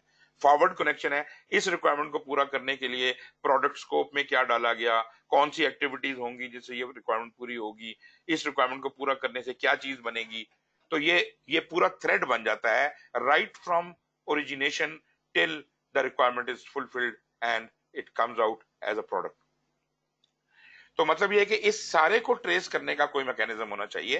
The requirement traceability matrix is a grid या एक मैट्रिक्स या वर्कशीट समझ लीजिए that links project requirements from their origin to the deliverables that satisfy them ये बात है जो मैंने अभी आपसे की।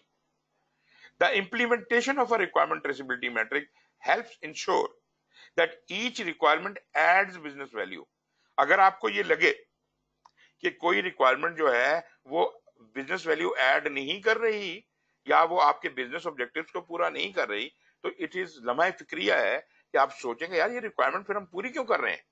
ऐसी क्या क्या मत आ गई है कि इस रिक्वायरमेंट को पूरा करना ज़रूरी है? हो सकता है कि ये रिक्वायरमेंट अब ज़रूरी ही ना रही हो।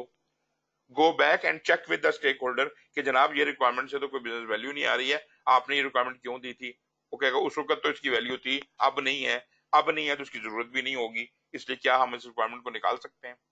सो so, ऐसा हो सकता है कि रिक्वायरमेंट बदल जाए।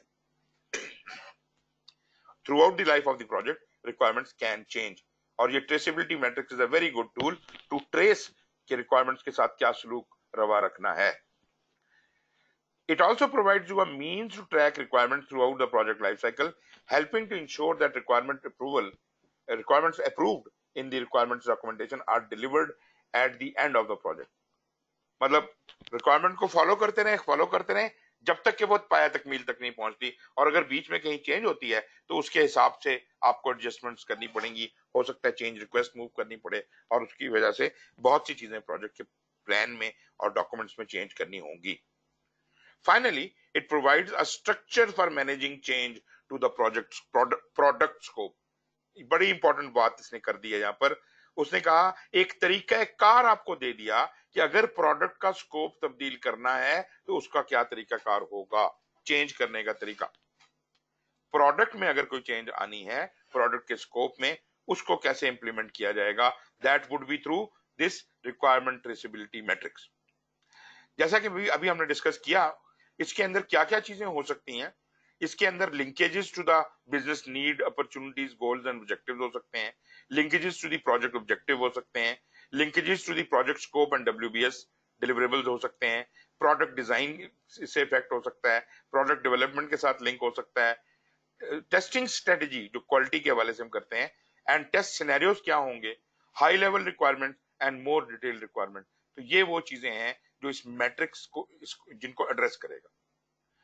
ओके okay, ये matrix how does it look like हर हर एट्रीब्यूट है रिक्वायरमेंट्स का। उसका एक बकायदा आप टेबल बना लें। उसमें बकायदा आप नंबर दें। हर रिक्वायरमेंट को एक यूनिक नंबर दें। उसका एक नाम रखें।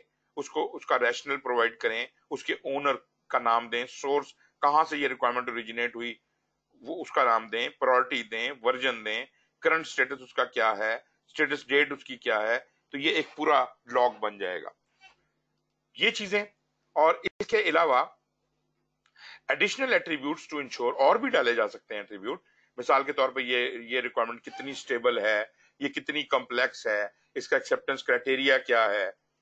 एक एग्ज़ाम्पल के तौर पे ये आपके सामने अभी आ जाएगी स्क्रीन के ऊपर। एक एग्ज़ाम्पल है ट्रेसिबिलिटी मैट्रिक्स की, मगर फिर यहाँ एग्ज़ाम्पल खास तौर पे लिखा हुआ है, ये कतन ना समझेंगे ये वो वाहिद तरीका है जिससे ट्रेसिबिलिटी मैट्रिक्स बन सकता है। But this is a good way of doing it you can create your own format PMI does not suggest any format ये सिर्फ़ एग्ज़ाम्पल के तौर पे आपको दिया हुआ है। इसमें उसने एक साइड के ऊपर रिक्वायरमेंट्स दी हुई हैं, फिर उनकी सब रिक्वायरमेंट्स बनाई हुई हैं, उनको बाकायदा नंबरिंग दी हुई है, फिर उस रिक्वायरमेंट का नाम लिखा जाएगा डिस्क्रिप्शन ब्रीफ ब्रीफ डिस्क्रिप्शन लिखी जाएगी। फिर लिखा जाएगा, ये कौन सी business need opportunity goals objective को सेटिस्फाई कर रही है? फिर लिखा जाएगा प्रोजेक्ट ऑब्जेक्टिव कौन सा वाला अचीव कर रही है? WBS के कौन से वाले एलिमेंट को ये लिंक कर रही है? प्रोडक्ट डिज़ाइन जो है वो कौन से वाले पेज का इम्पैक्ट जा रहा है? प्रोडक्ट डेवलपमेंट और इवन इसको, इस रिक्वायरमेंट को टेस्ट आखिर में कैसे किया जाएगा? ये, और इसके अलावा और भी फ़ील्ड हो सकते हैं, अगर आप और ज़्यादा एनहांस को करना चाहें।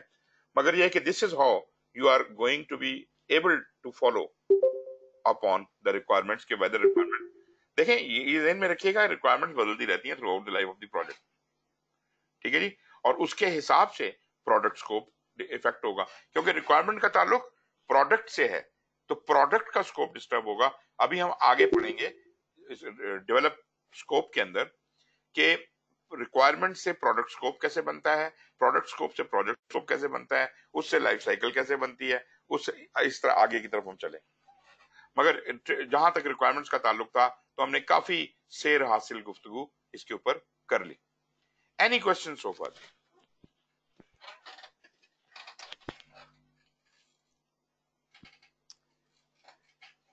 जी जनाब।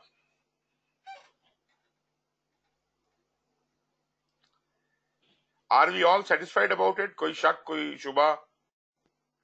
ये जो बातें मैंने आपसे की हैं, इसका फ़ायदा बुनियादी तौर पे ये होता है, एक तो खैर रिकॉर्डिंग तो मिल जाएगी, उससे आप दोबारा भी सुन सकते हैं सारी डिस्कशन लेकिन, जब आप इन स्लाइडों को अलग से पढ़ेंगे, अगर आपने मेरा लेक्चर गौर से सुना हुआ है तो ये जब आप वो टेक्स्ट पढ़ते जाएँगे या किताब से पढ़ेंगे तो टेक्स्ट पढ़ते जाएँगे तो आपको मेरी बातें याद आएँगी। आपके कान में गूंजेंगे कि हाँ यार, इसका ये आर्गूमेंट दिया था, इसका ये आर्गूमेंट दिया था। और अल्टीमेटली आपको किताब ज़्यादा बेहतर तरीके से समझ आना शुरू हो जाएगी। यही मेरा मकसद है। वरना तो किताब से आप खुद भी पढ़ सकते हैं। लेकिन कब उस सूरत में शायद आप किताब से वो मतलब अखज नहीं कर पाएँगे। So that was the point anyways ji if are more questions on this topic let us move on to the next topic and अगला प्रोसेस हमारा है डिफाइन स्कोप जब रिक्वायरमेंट्स हम स्टेब्लिश कर लेते हैं तो उनकी बुनियाद के ऊपर हम फिर प्रोडक्ट का एनालिसिस करते हैं। और हम प्रोडक्ट का एनालिसिस करने का मतलब ये होता है कि हम कहते हैं कि अच्छा इन रिक्वायरमेंट्स के तहत चीज़ें बनानी है तो प्रोडक्ट के फ़ंक्शन एंड फीचर्स क्या होंगे? एग्जैक्टली exactly उनको हम प्रोडक्ट के स्कोप में डाल देते हैं। मतलब वही रिक्वायरमेंट जो अप्रूव्ड हो चुकी हैं, वो अब मेरा प्रोडक्ट स्कोप बन जाएँगी। और फिर, और इसके लिए मैं प्रॉपर प्रोडक्ट एनालिसिस करूँगा। ठीक है जी? उसके बाद मैं इन रिक्वायरमेंट जब स्टैब्लिश हो जाएँगी प्रोडक्ट प्रोडक्ट स्कोप स्टैब्लिश हो जाएगा तो मैं इससे कर, फिर अगली चीज़ करूँगा कि मेरे अप्रोचेस क्या क्या अवेलेबल हैं मुझे ये काम करने के लिए। मैंने पहले भी आपको बताया था अल्टरनेटिव अल्टरनेटिव अप्रोचेस होती हैं। कई तरीके हैं कुर्सी में बाज़ार से खरीद के डिलीवर कर दूँ खुद सीखूं बनाना और खुद बनाऊँ या कोई बंदा हायर करके उससे बनवाऊं या मैं आउटसोर्स कर दूँ और किसी ठेकेदार से बनवाऊं। मेरे पास देखें कुर्सी बनाने के भी चार तरीके हैं। इससे भी ज़्यादा हो सकते हैं। इन सारे तरीकों को एवेलुएट करें कि इनमें से कॉस्ट बेनिफिट एनालिसिस के हिसाब से विच इज़ मोस्ट अप्रोप्रिएट और फिर जो भी मोस्ट अप्रोप्रिएट तरीका है, उसको चुन लें। लेकिन स्कोप डिफाइन स्कोप के अंदर आपको वो सारा आर्गुमेंट देना पड़ेगा। तब आपका डिफाइन स्कोप प्रॉपरली होगा और जब आपने ये अप्रोच सेलेक्ट कर ली, अगला स्टेप आप ये करते हैं कि अच्छा जी, मैंने कहा कि मैं इसके लिए बंदा हायर करूँगा और उससे ये टेबल बनवाऊँगा। तो अब आपकी एक्टिविटीज़ इस हिसाब से हो जाएँगी कि बंदा हायर करने के लिए अखबार में इश्तेहार देना, फिर उसका इंटरव्यू करना, फिर ये करना, फिर वो करना, फिर उस बंदे को काम देना, फिर उसने काम देना, फिर उसको कोई चेक करना, फिर क्वालिटी वाले को बुलाना वट एवर सो ये इस तरीके से आपका काम डिफाइन हो जाएगा। तो एक अप्रोच बन जाती है आपकी और इस अप्रोच में काम करने के लिए मैं कहता हूँ कि अच्छा खैर, अभी डिटेल्ड एक्टिविटीज़ तो बाद में आएँगी, लेकिन इस अप्रोच के तहत काम करने के लिए मुझे अपने प्रोजेक्ट को किन बड़े बड़े हिस्सों में बांट लेना चाहिए? किन मरहलों में बांट लेना चाहिए? मरलावार फिर हम उसे पता करना शुरू करेंगे। तो पहला मरला हो गया कि जनाब बंदे की हायरिंग करनी।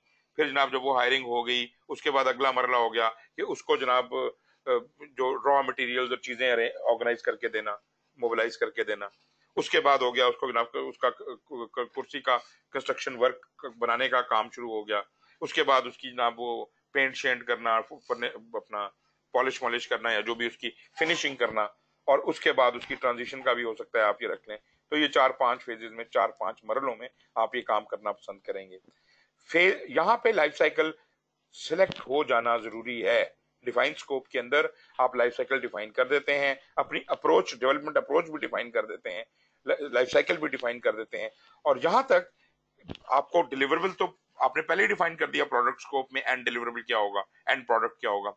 और उसकी स्पेक्स क्या होंगी, और उसकी ज़िम्मेदारी किसकी होगी, और उसमें टेस्ट केसेस क्या होंगे, ये सब मैं पहले बात कर चुका हूँ रिक्वायरमेंट टेस्टिबिलिटी मैट्रिक में, ये सब आपने बता दिया। अब आप क्या करें कि हर फ़ेज़ के एंड पे क्या निकलेगा, क्या डिलीवर होगा, उसकी भी जिम्मेदारियाँ और उसकी स्पेक्स और ये सब कहीं लिख के रख लें कि फ़ेज़ वन के एंड पे ये होना चाहिए फ़ेज़ टू के एंड पे ये होना चाहिए थ्री के एंड पे फोर के एंड पे फाइव के एंड पे, और अल्टीमेटली अब आपने फेजेस भी डिफाइन कर दी। इतना काम काफ़ी है।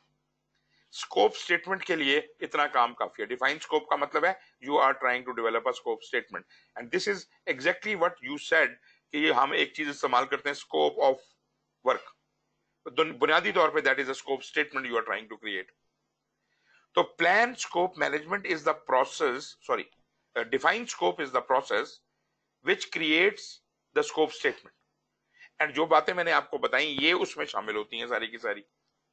तो this is how it is done इसके अलावा और भी हम इसमें चीज़ें डाल सकते हैं मतलब लाजमी बात है, जब डिटेल्स को बना लिया तो फिर इसके अंदर हम कंस्टेंट्स हैं, आपकी एजम्पन हैं, वो भी आएँगी। लेकिन जो एजम्पन और कंस्टेंट्स हमें चार्टर के लेवल पे या इससे पिछले किसी लेवल पे बताती ये अब उससे ज़्यादा तफसीली होंगी ना चीज़ें, क्योंकि अब तो हम उसकी जड़ों में पहुँच गए चीज़ों के। तो इसका मतलब ये हुआ कि हमारी एजम्पन भी इंप्रूव होंगी एनहांस होंगी, आपकी लिमिटेशन भी बढ़ेंगी और भी चीज़ें रिस्क भी कुछ होंगे, मोटे स्टेक होल्डर भी बढ़ेंगे, इस तरीके के साथ आप इतनी तफसील में जाएँगे तो वो सब चीज़ों पे असर पड़ेगा। सो डिफाइन स्कोप का जो प्रोसेस है, ये एक detailed description of the project and product इसका मकसद है। मतलब प्रोडक्ट स्कोप और प्रोजेक्ट स्कोप को स्टेब्लिश करना, बुनियादी तौर पर इसका मकसद है। और इसका बेनिफिट यह है कि ये डिस्क्राइब कर देता है आपको प्रोडक्ट सर्विस रिज़ल्ट जो भी चीज़ बननी है, और उसका एक्सेप्टेंस क्राइटेरिया खास तौर पे। क्योंकि जहाँ तक प्रोडक्ट का ताल्लुक है एक्सेप्टेंस क्राइटेरिया टेस्ट केसेस क्या होंगे, क्या चीज़ कंडीशन पूरी होगी तो हम मानेंगे कि ये चीज़ पाया तकमील पे पहुँच गई। इससे मुझे एक और चीज़ याद आई, मैं एक और वीडियो देख रहा था किसी एक ट्रेनर है कोई पाकिस्तान का ही, और उसने, मैंने कहा, यार, सुनता हूँ ये क्या कह रहा है। तो वो प्रोजेक्ट को डिफाइन कर रहा था, और मैं पहले उससे बड़ा इंप्रेस हुआ कि ज़बरदस्त बात कर रहा है और ठीक बोल रहा है। अचानक उसने सब खूह में डाल दिया। उसने कहा जी के जो प्रोजेक्ट होता है, उसका प्रोडक्ट भी होता है, उसी प्रोडक्ट को सर्विस भी कह सकते हैं, उसी से रिज़ल्ट भी निकल आता है। मैं कहा, खुदा दा खौफ कर भाई। उसने कहा है, प्रोडक्ट, सर्विस, आर रिज़ल्ट। तो ये आपके प्रोजेक्ट का रिज़ल्ट, आपका प्रोजेक्ट का जो एंड प्रोडक्ट है, या डिलीवरेबल है, वो प्रोडक्ट की सूरत में भी निकल सकता है, वो किसी सर्विस की सूरत में भी निकल सकता है, और रिज़ल्ट की सूरत में भी निकल सकता है। ये तीनों चीज़ें इकट्ठी जोड़ के नहीं बोलनी। तो मतलब वो आई डोंट नो मुझे उसके उस बंदे के ऊपर से यकीन ही उठ गया कि इसको बात कुछ समझ आई है। तो मतलब बड़े बड़े लोग जो पीएमपी हैं भी, वो भी कई बार गलत बात करते हैं। उनको नहीं समझ आई होती, उनको कॉन्सेप्ट कॉन्सेप्चुअली वो क्लियर नहीं होते। मैं ये मानता हूँ कि पीएमपी शायद अधूरे कॉन्सेप्ट के साथ भी की जा सकती है। लेकिन मेरी कोशिश ये होगी कि आप पीएमपी करें या ना करें। लेकिन conceptually you have to be strong आपको चीज़ समझ आनी चाहिए। आप किसी को डिफेंड तो कर सकें, अगले से जाके लड़ तो सकें कि भाईजान ये ऐसे नहीं होता, ये आप गलत कह रहे हैं। तो कहने का मकसद ये है कि you should be confident of about your knowledge और ये चीज़ें जो मैं आपको बता रहा हूँ, हो सकता है मैं भी कहीं गलत हूँ, ऐसी बात नहीं है कि मैं जो कहता हूँ बिल्कुल सही कहता हूँ। कभी कभी स्लिप ऑफ़ टंग भी हो जाती है कभी कभी कोई मुझे नॉलेज नहीं भी होगा किसी चीज़ का, और मैं हो सकता है कि एवं बोंगी मार जाऊँ। लेकिन फिर भी आप कोशिश करें कि जो चीज़ें इसमें से अखज कर सकते हैं, उसको इस्तेमाल में भी लाएँ। भले वो एग्ज़ाम पास करने के लिए है या प्रैक्टिकल लाइफ में प्रोजेक्ट्स करने के लिए। डिफाइन स्कोप का जो प्रोसेस है, इसके अंदर वही चार्टर, वही प्रोजेक्ट मैनेजमेंट प्लान और आपको याद होगा कि चार्टर क्यों है यहाँ पर। मैंने आपको बताया था चंद के जगह हैं जहाँ चार्टर जाता है। एक तो सारे मैनेजमेंट प्लान बनाने के लिए चार्टर चाहिए होता है। एक, आइडेंटिफाई स्टेक होल्डर करने के लिए। फिर स्कोप डिफाइन करने के लिए। और फिर आपका जो अभी पिछला स्टेप आपने कलेक्ट रिक्वायरमेंट्स करने के लिए, ये तीन चार जगह हैं जहाँ पे चार्टर होता है। इसके बाद, चूँकि यहाँ से तो स्कोप स्टेटमेंट बन के निकल जाएगी ना, ये आखिर में आउटपुट से निकल रही है, आइंदा स्कोप स्टेटमेंट इस्तेमाल होगी। तो फिर हमें ज़रूरत नहीं पड़ेगी चार्टर की एक्सेप्ट फॉर फ्यू केसेस इसी तरह प्रोजेक्ट मैनेजमेंट प्लान में हमें डिफाइन स्कोप करने के लिए क्या चाहिए? हमें स्कोप मैनेजमेंट प्लान चाहिए। Requirement management plan is no more required क्योंकि उसका काम वही खत्म हो गया। जबकि जब रिक्वायरमेंट कलेक्ट करनी थी तो हमें दोनों चीज़ें चाहिए थी। स्कोप मैनेजमेंट प्लान भी चाहिए था रिक्वायरमेंट मैनेजमेंट प्लान भी चाहिए था कि दोनों में गाइडेंस दी हुई है रिक्वायरमेंट्स के हवाले से। लेकिन जहाँ तक स्कोप से के हवाले से है तो वो वो गाइडेंस सारी स्कोप मैनेजमेंट प्लान में दी हुई है। तो स्कोप मैनेजमेंट प्लान मुझे कंसर्न करता है, सिर्फ़ यहाँ पर और कुछ नहीं चाहिए। और डॉक्यूमेंट्स में से, अब लाजमी बात है कि मैंने यहाँ पे कुछ एजम्पन आगे फर्दर भी बनानी है, लेकिन जो अब तक बन चुकी हैं एजम्पन उनका रजिस्टर या लॉग मेरे पास होना चाहिए। रिक्वायरमेंट्स की जो डॉक्यूमेंटेशन पहले से बनी हुई है, जो अभी मतलब कलेक्ट रिक्वायरमेंट से आपने इकट्ठी की थी, वो मुझे मिले ताकि मैं, हो सकता है उसे कोई एनहांस करूँ इस डिफाइन स्कोप के अंदर। रिस्क रजिस्टर जो है, वो मुझे मिले तो उनको मैं कंसिडर करूँ। फिर enterprise environmental factor organisation process assets हैं। टूल्स में कोई खास नई चीज़ नहीं है, वही एक्सपर्ट जजमेंट है, वही डाटा एनालिसिस अल्टरनेटिव एनालिसिस है। अल्टरनेटिव एनालिसिस आप जो गौर कीजिएगा कि ये, वही है जो मैं आपसे कह रहा था कि अप्रोच आपकी क्या होगी। डेवलपमेंट अप्रोच उसमें से क्या अल्टरनेटिव अवेलेबल कुर्सी खुद बनानी है, बाहर से बनवानी है, बनी बनाई खरीदनी है, ये इस तरह से। फिर आप डिसीज़न मेकिंग भी यहाँ इस्तेमाल करते हैं मल्टी क्राइटेरिया डिसीज़न मेकिंग आप जब वे कर रहे होते हैं वेरियस ऑप्शंस को तो उनको आप मुख्तलिफ़ वेटेजेस देकर वेटेड एवरेज निकाल के कंपेयर करते हैं कि कौन सी वाली ऑप्शन बेहतर है, कौन सी कम बेहतर है, वगैरह वगैरह। फिर आप एज ए इंटरपर्सनल स्किल आपको फैसिलिटेशन में बहुत आला होना चाहिए, जो प्रोजेक्ट मैनेजर है, वो इस काम को करवाने के लिए बहुत ज़बरदस्त तरीके के साथ इसको हैंडल करे। मीटिंग्स इसमें होंगी और हम मीटिंग के ऊपर पहले बात काफ़ी सारी कर चुके हैं। नतीजतन project scope statement is the major output coming out of it इसके अलावा और बहुत सी चीज़ें प्रोजेक्ट डॉक्यूमेंट्स में अपडेट होती हैं, जिसमें वो जो एजम्पन लॉग थी, वो भी रिक्वायरमेंट डॉक्यूमेंट भी अपडेट हो सकता है ट्रेसिबिलिटी मैट्रिक्स भी अपडेट हो सकता है उसी की रोशनी में, और स्टेक होल्डर रजिस्टर भी अपडेट होते हैं, क्योंकि यहाँ पे डिफाइन स्कोप करते हुए हमें हो सकता है नए स्टेक होल्डर आइडेंटिफाई हो, और वो होते रहते हैं स्टेक होल्डर तो एक कॉन्टिन्यूस प्रोसेस है। तो स्टेक होल्डर रजिस्टर अपडेट होता रहता है। तो ये तो है जनाब इसका चार्ट और जहाँ तक इसके फ्लो की बात है तो फ्लो में भी कोई इतनी बड़ी कॉम्प्लिकेशन नहीं है। जो चीज़ें बन रही हैं इनपुट हो रही हैं, वो कहाँ कहाँ से आ रही हैं, हमें बड़ा वाजे पता है। प्रोजेक्ट डॉक्यूमेंट्स हैं प्रोजेक्ट क्या कहते हैं मैनेजमेंट प्लान से कुछ चीज़ें आ रही हैं चार्टर डेवलप चार्टर से आ रहा है, और बाकी दो चीज़ें आपको ऑर्गेनाइजेशन से आती हैं, ये तो हमें कन्वेंशनली भी पता है। ये सब चीज़ें जो ये बनाता है the interesting part is of them go into the project document but the major output is the project scope statement जो कि बाद में जाके, अगले स्टेप में जाके, जब हम डब्ल्यू बनाएँगे और स्कोप बेसलाइन करेंगे this scope statement will become part of the scope baseline ये इतना इंपॉर्टेंट डॉक्यूमेंट है कि अल्टीमेटली जब स्कोप बेसलाइन होनी है तो ये उसका पार्ट बन जाएगा। लेकिन for the time being it is being send to project documents और इसके अलावा जो चीज़ें अपडेट हमने की हैं, वो भी अपडेट होकर प्रोजेक्ट डॉक्यूमेंट्स में जा रही ये जनाब कहानी थी। अब इसको हम ब्रीफली देख लेते हैं कि टेक्स्ट में क्या इसने लिखा हुआ है। Since all the requirements identified in collect requirements may not be included in the project बड़ी इंपॉर्टेंट बात है और ये मैं आपको वैसे कह भी चुका हूँ कि ये थोड़ी है कि जितनी रिक्वायरमेंट्स आपको अच्छी, बुरी ख्वाहिशात आई हैं, सबको आपने पूरा करने का ठेका उठाया हुआ है।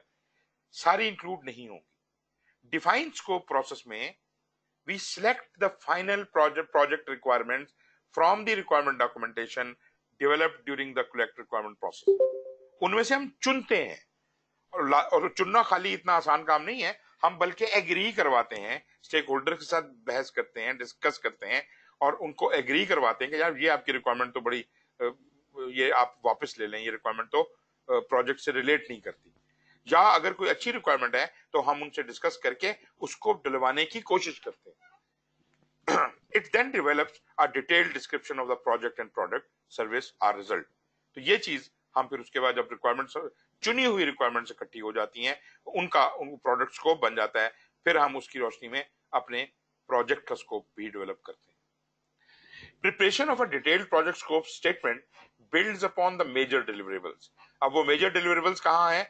सबसे बड़ा डिलीवरेबल आपका एंड प्रोडक्ट जो कि प्रोडक्ट के स्कोप ने बता दिया आपको। फिर प्रोडक्ट जब आपने डिफाइन स्कोप करना है, यहाँ आपको फेजेस के भी डिलीवरेबल पता होने चाहिए, वो भी मेजर डिलीवरेबल्स हैं। एजम्पन्स पता होनी चाहिए कंस्टेंट्स पता होने चाहिए। During project planning the project scope is defined and described with greater greater specificity as more information about the project is known all हमें जितना पता है, हम उसकी रोशनी में स्कोप स्टेटमेंट बना लेते हैं, और स्कोप स्टेटमेंट बहुत इंपॉर्टेंट डॉक्यूमेंट है और अगर ये चेंज हुआ तो पूरे प्रोजेक्ट के अंदर सारी प्लानिंग में जल्जला आने का इम्कान है। मगर फिर भी इस बात की गुंजाइश बाकी रहती है कि स्कोप में भी तब्दीलियाँ होने का चांस हमेशा रहेगा। और अगर कभी भी कोई तब्दीली आई तो उसको प्रॉपर चेंज कंट्रोल के प्रोसीजर के तहत चेंज रिक्वेस्ट के साथ हैंडल किया जाएगा। Existing risk assumptions constraints are analyse जो हमें अभी तक दिए गए हैं बिज़नेस केस में चार्टर में इधर उधर से हमें जितने भी एजम्पन मिली हैं रिस्क मिले हैं या कंस्टेंट बताए गए हैं, हम उनको एनालाइज करेंगे और देखेंगे कि क्या ये हम पे लागू हैं या ये कंप्लीट है या इनको मजीद वर्क करने की ज़रूरत है। और अगर मजीद कुछ चीज़ें हमें नज़र आती हैं तो हम वो उसमें ऐड भी करेंगे। लेकिन as far as these things are concern they will also keep growing assumptions भी बढ़ेंगी। अभी अभी तो हमने डिटेल प्लानिंग करनी है ना तो एजम्पन नई भी आएँगी। नए रिस्क भी सामने आएँगे and so on and so forth तो अभी डिटेल प्लानिंग में जब हम जाएँगे बाकी चीज़ों की तो ये सब चीज़ें और ज़्यादा खुल के डिस्क्राइब हो जाएँगी। Defined scope process can be highly iterative क्योंकि मैंने आपको बताया कि इसमें बार बार चेंजेस आती हैं। In iterative life cycle project a high level vision जहाँ पे स्कोप स्टेबल ना हो तो वहाँ पर स्टेबल uh, नहीं होगा तो वो तो हमें कन्वेंशनल तरीके के साथ नहीं कर सकते। हमें तो एजाइल में या एटरेटिव तरीके में जाना पड़ेगा। तो कहते हैं हाई लेवल विजन ले लिया जाता है और उसके मुताबिक पोर्शन ऑफ़ प्रोजेक्ट शुरू करते हैं आइट्रेशन शुरू करते हैं और फिर आइट्रेशन बाय आइट्रेशन प्लानिंग करते जाते हैं। But the detailed scope is determined one iteration at a time her iteration का डिटेल निकाली जाती है। अगली आइट्रेशन की उस आइट्रेशन में देखी जाएगी। And the detail planning for the next iteration is carried out as work progresses on the current project scope and deliverables ये भी हो गया जी। तो ये फिर वही बातें जनाब चार्टर ये इनपुट की वाली चीज़ें आ गई सारी की सारी।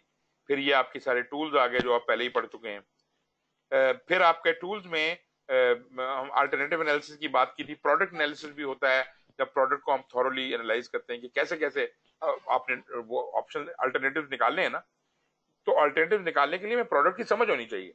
अगर एक आदमी को प्रोडक्ट की समझ नहीं है क्या बनाना है तो वो उसके अल्टरनेटिव कैसे लाएगा। तो प्रोडक्ट को थॉरली एनालाइज किया जाता है can be use to define products and services it includes asking questions about a product और service and forming answers to describe the use characteristic and other relevant aspect of what is going to be delivered Each application area has one or more generally accepted method for translating high-level product or service descriptions into meaningful deliverables. Requirements are captured at a high level and decomposed to the level of detail needed to design the final product मतलब हम उस हद तक उसे तोड़ते हैं जहाँ आपके लिए कंफर्टेबल हो जाता है, उसके ऊपर काम करना। प्रोडक्ट एनालिसिस में हम प्रोडक्ट ब्रेकडाउन भी बनाते हैं कि अच्छा ये कार बनानी है, कार के इतने पोर्शन होंगे उनके, हर पोर्शन के अंदर क्या क्या होगा। रिक्वायरमेंट्स को एनालाइज किया जाता है सिस्टम्स को एनालाइज किया जाता है। सिस्टम इंजीनियरिंग का इस्तेमाल है वैल्यू एनालिसिस होता है। वैल्यू इंजीनियरिंग ये बहुत सी टेक्नोलॉजीज़ हैं जो प्रोडक्ट एनालिसिस के हवाले से इस्तेमाल होती है। आउटपुट्स में आ जाए तो हमारा मेजर जो आउटपुट है, की आउटपुट जो है, वो की स्कोप स्टेटमेंट है। तो project scope statement is the description of project scope major deliverable assumption and constraints project scope statement documents their scope including product project and product scope it describe the project deliverables in detail in detail ठीक है जी? मैं ये नहीं कह रहा कि हर deliverable मतलब जो मोटे मोटे डिलीवरेबल हैं, वो कम से कम उनकी टेस्टिंग क्राइटेरिया एक्सेप्टेंस क्राइटेरिया उनकी स्पेक्स उनके, और उनकी ज़िम्मेदारी किसके ऊपर है, ये डिफाइन कर दिया जाता है ऑल मेजर डिलीवरेबल तो यहाँ तक हमने स्कोप में कर देना है, और इसके बाद फिर हम आगे, अगले स्टेप में जाएँगे तो उसको ब्रेक डाउन करेंगे. It also provides a common understanding of project scope among major stakeholders बहुत इंपॉर्टेंट पॉइंट है कि जो भी अंडरस्टैंडिंग हमने डेवलप की है, ये जो आपके स्टेक होल्डर हैं, उनको भी समझा दें। नहीं तो वो बेवकूफों की तरह मुँह ताकते रहेंगे कि ये पता नहीं क्या कर रहे हैं। तो उनको भी इतना ही वाइज कर देना, उनको अपने साथ लेके चले। ये स्टेक होल्डर आपके लिए बहुत इंपॉर्टेंट है। ये आपका साथ देंगे, आपके सिपाही बन जाएँगे, अगर आपने इनको साथ रखा। नहीं तो ये दुश्मन फौज साबित होंगे। ये आपके काम में रोडेट का देंगे। इसलिए स्टेक होल्डर्स को पहले भी आपने कंसल्ट किया था, उनको आइडेंटिफाई किया एनालाइज किया, फिर उनसे रिक्वायरमेंट्स उठाई अब उनको बताएँ और उनको इन्वॉल्व रखें कि ये ये रिक्वायरमेंट्स पिक हो गई हैं और ये ऐसे काम होगा और ये प्लान हम ऐसे कर रहे हैं वगैरह it enables the project team to perform more detailed planning guides the project team work during execution provides the baseline for evaluating whether requests for change or additional work are contained within or outside of the project boundary. तो मतलब project की हदूद वाजे हो गई और इन हदूद के अंदर अंदर क्या क्या किया जा सकता है, ये यहाँ पे define degree and level of detail to which the project scope statement defines the work that will be performed and the work that is excluded, जिसको इन इन चीज़ों को हम कहते हैं in scope and out of scope, can help determine how well the project management team can control overall project scope. अगर आप अंदाज़ा कीजिए, सिर्फ़ प्रोजेक्ट मैनेजर ही को नहीं बल्कि सारी टीम को और सारे स्टेक होल्डर्स को अगर ये बात वाजे है कि क्या हो रहा है, कैसे हो रहा है, और वो कन्वेंस्ड है तो कोई झगड़ा ही नहीं खत्म झगड़ा ही खत्म हो जाता है। मिसाल के तौर पे अगर आपकी पूरी क्लास जो है, वो कन्वेंस है कि हम ये चीज़ सही समझ रहे हैं तो फिर तो झगड़ा खत्म हो गया ना। एट द सेम टाइम अगर किसी का क्वेरी हो क्वेश्चन हो, फ़ौरन आप उसे क्वेश्चन करते हैं और करना भी चाहिए, क्योंकि अगर आप नहीं करेंगे तो वो चीज़ अनक्लियर रह जाएगी। इसी तरीके के साथ स्कोप स्टेटमेंट में अब इन लोगों का इन्वॉल्व होना ज़रूरी है। डिटेल स्कोप स्टेटमेंट इधर directly or by reference to other documents includes the scope description इसमें डिलीवरेबल्स भी वाजे तौर पर डिफाइन किए जाते हैं मेजर डिलीवरेबल खास तौर पे एंड प्रोडक्ट और फिर जो बीच में मेन जो माइलस्टोन के ऊपर चीज़ें अचीव होनी है। एक्सेप्टेंस क्राइटेरिया हर एक का क्या होगा? वो जिसको हमने कहा कि वो टेस्ट क्या है कैसे पता चलेगा कि ये चीज़ पास हो गई है कि नहीं हुई है? और प्रोजेक्ट में क्या चीज़ें इंक्लूड नहीं करनी? एक्सक्लूजन कौन सी हैं? जिनसे परहेज करना है। तो ये जनाब, ये उसी, उन्हीं चीज़ों को उसने एक्सप्लेन किया हुआ है। ख्याल इसको स्किप करते हैं। प्रोजेक्ट स्कोप स्टेटमेंट में कहते जी although the project charter and the project scope statement are sometimes perceived as containing a certain degree of redundancy मतलब दोनों में जनरली हेडिंग एक जैसी है। मतलब although charter is a shorter document and is authorisation लेकिन उसके अंदर भी मुमकिन है हेडिंग हो प्रोडक्ट्स को प्रोजेक्ट्स को और ये, वो सब कुछ। लेकिन वहाँ पे परसेप्शन कुछ और है। वहाँ पे समझ उस उस हद तक नहीं है। वहाँ मोटा मोटा हमने कह दिया कि प्रोडक्ट का ये स्कोप होगा प्रोडक्ट का ये स्कोप होगा। लेकिन जो तफसीली स्कोप बनता है, सबसे ज़्यादा तफसीली स्कोप वो स्कोप स्टेटमेंट में बनता है। तो बेशक इनकी हेडिंग्स एक जैसी हों, लेकिन जो लेवल ऑफ़ डिटेल है, वो ज़्यादा है स्कोप स्टेटमेंट का। So degree certain degree of redundancy तो बेशक है, लेकिन they are different in level of detail contained in each project charter contains high level मोटी मोटी information the scope statement contains detailed description of the scope components. These components are फिर जैसे हमने पहले भी कहा कि ये तो प्रोग्रेसिवली एलेबोरेट भी होते रहेंगे और इनमें तब्दीली भी आ सकती है। तो की एलिमेंट्स जो चार्टर के और स्कोप के हैं although I don't like this chart very much because scope की हेडिंग्स को तो उसने ज़्यादा लिफ्ट नहीं कराई, उसमें और चीज़ें भी हो सकती हैं, वो उसने नहीं बताया। देखने में ये लगता है स्कोप छोटा सा डॉक्यूमेंट है और चार्टर कोई बहुत बड़ा सारा डॉक्यूमेंट है। ऐसा कतर नहीं है, ये उलट है इसके बिल्कुल। लेकिन उसने मेजर हेडिंग्स की बात की, उसने कहा चार्टर में पर्पज बताओ मेजरेबल प्रोजेक्ट के ऑब्जेक्टिव बताओ हाई लेवल रिक्वायरमेंट क्या है हाई लेवल आप देख सकते हैं जो भी चीज़ें इसमें हाई लेवल है। हाई लेवल प्रोजेक्ट की डिस्क्रिप्शन मोटी मोटी बता दें मोटे मोटे रिस्क बता दें मोटे स्केड्यूल अगर कोई पॉइंट्स हैं, आपने कोई टाइमलाइन बनाई हुई है प्री अप्रूव्ड फाइनेंशियल सोर्सेज की स्टेक होल्डर लिस्ट और इस तरह ये सब चीज़ें आप मोटी मोटी यहाँ पे। लेकिन याद रखिएगा चार्टर को मुख्तसर रखना होता है। ये नहीं है कि आप पचास सफों का सौ सफों का एक डॉक्यूमेंट बना दें। चार्टर को एक डेढ़ सफे का होता है, उसमें ये सारी बातें कंसाइज करके डालनी है। On the other hand scope statement can be a detailed document this could be multiple pages और पचास, साठ सफे हो सकते हैं, कोई फ़र्क नहीं पड़ता। बल्कि अगर प्रोग्राम शोग्राम हो तो हो सकता है स्कोप और भी हो फिर प्रोजेक्ट के डॉक्यूमेंट्स अपडेट्स में एजम्पशन लॉग और ये रिक्वायरमेंट डॉक्यूमेंट्स वगैरह आ जाते हैं। ट्रेसिबिलिटी मैट्रिक्स अपडेट हो जाता है स्टेक होल्डर रजिस्टर अपडेट हो जाता है और ये चीज़ें हम पहले से समझ चुके हैं। राइट जी, अभी हम आ गए क्रिएट डब्ल्यूबीएस के ऊपर। और इससे पेशतर कि मैं डब्ल्यूबीएस के ऊपर जाऊँ, आपका क्वेश्चन है तो मुझे बता दीजिए स्कोप स्टेटमेंट के हवाले से। स्कोप स्टेटमेंट में हमने काफ़ी बातचीत की है पहले भी।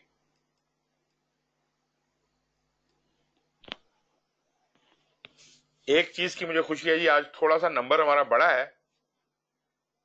लगता है कुछ नए लोग जिन्होंने कल नहीं क्लास में थे, आज आए हैं। तोहिद साहब, आप कुछ कहना चाह रहे हैं? हम बात करते हैं ना एक होता है हमारे पास प्रोजेक्ट स्कोप होता है और यहाँ पे हम एक प्रोजेक्ट स्कोप स्टेटमेंट तो जब आप स्टेटमेंट की बात करते हैं तो क्या ये इस तरह है कोई मिशन टाइप या विजन जो हम डिफाइन करते हैं इस तरह है? या अगेन इसमें डिटेल कवर होता है आपका कंप्लीट स्कोप होता है कि इस प्रोजेक्ट में आपकी क्या क्या चीज़ कवर होने कौन से डिलीवरेबल है या समथिंग लाइक दैट अच्छा ये डिटेल होता है।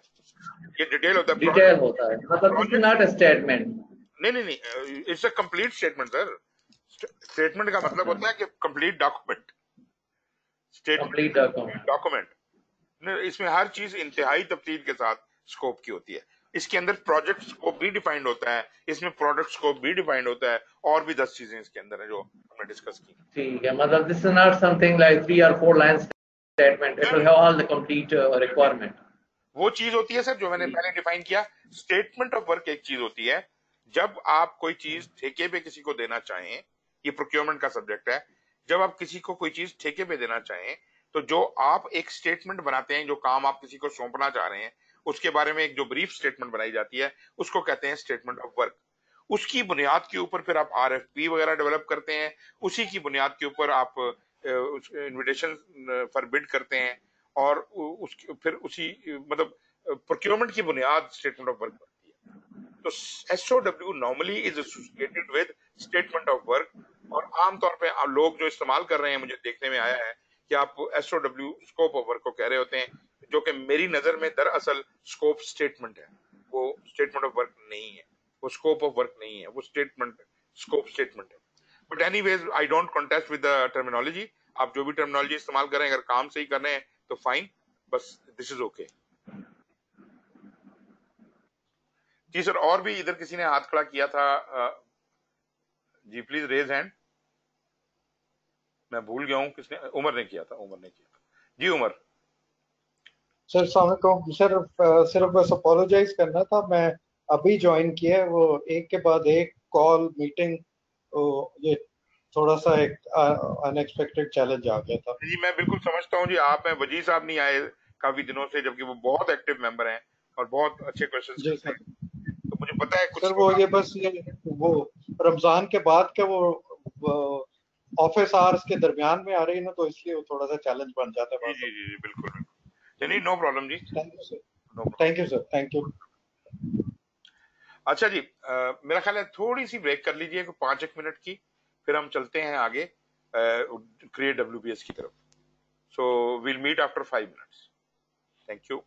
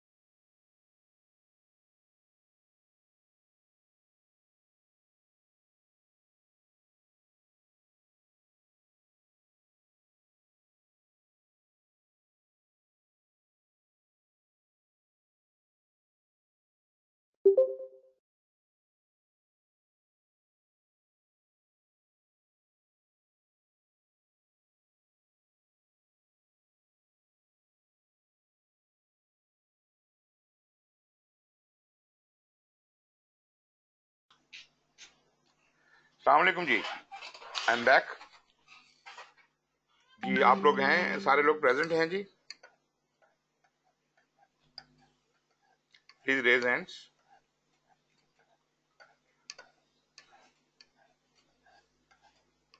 ओके जी. आधे से ज़्यादा लोग तो प्रेजेंट हैं. वंडरफुल जी वंडरफुल अच्छा जी, आगे शुरू करते हैं. अगला जो है, वो काफ़ी इंटरेस्टिंग है पोर्शन क्रिएट डब्ल्यू ये जो हमने स्कोप स्टेटमेंट बना लिया ना आप यूँ समझिए जी नासिर साहब कुछ कहना चाह रहे हैं? जी नासिर साहब।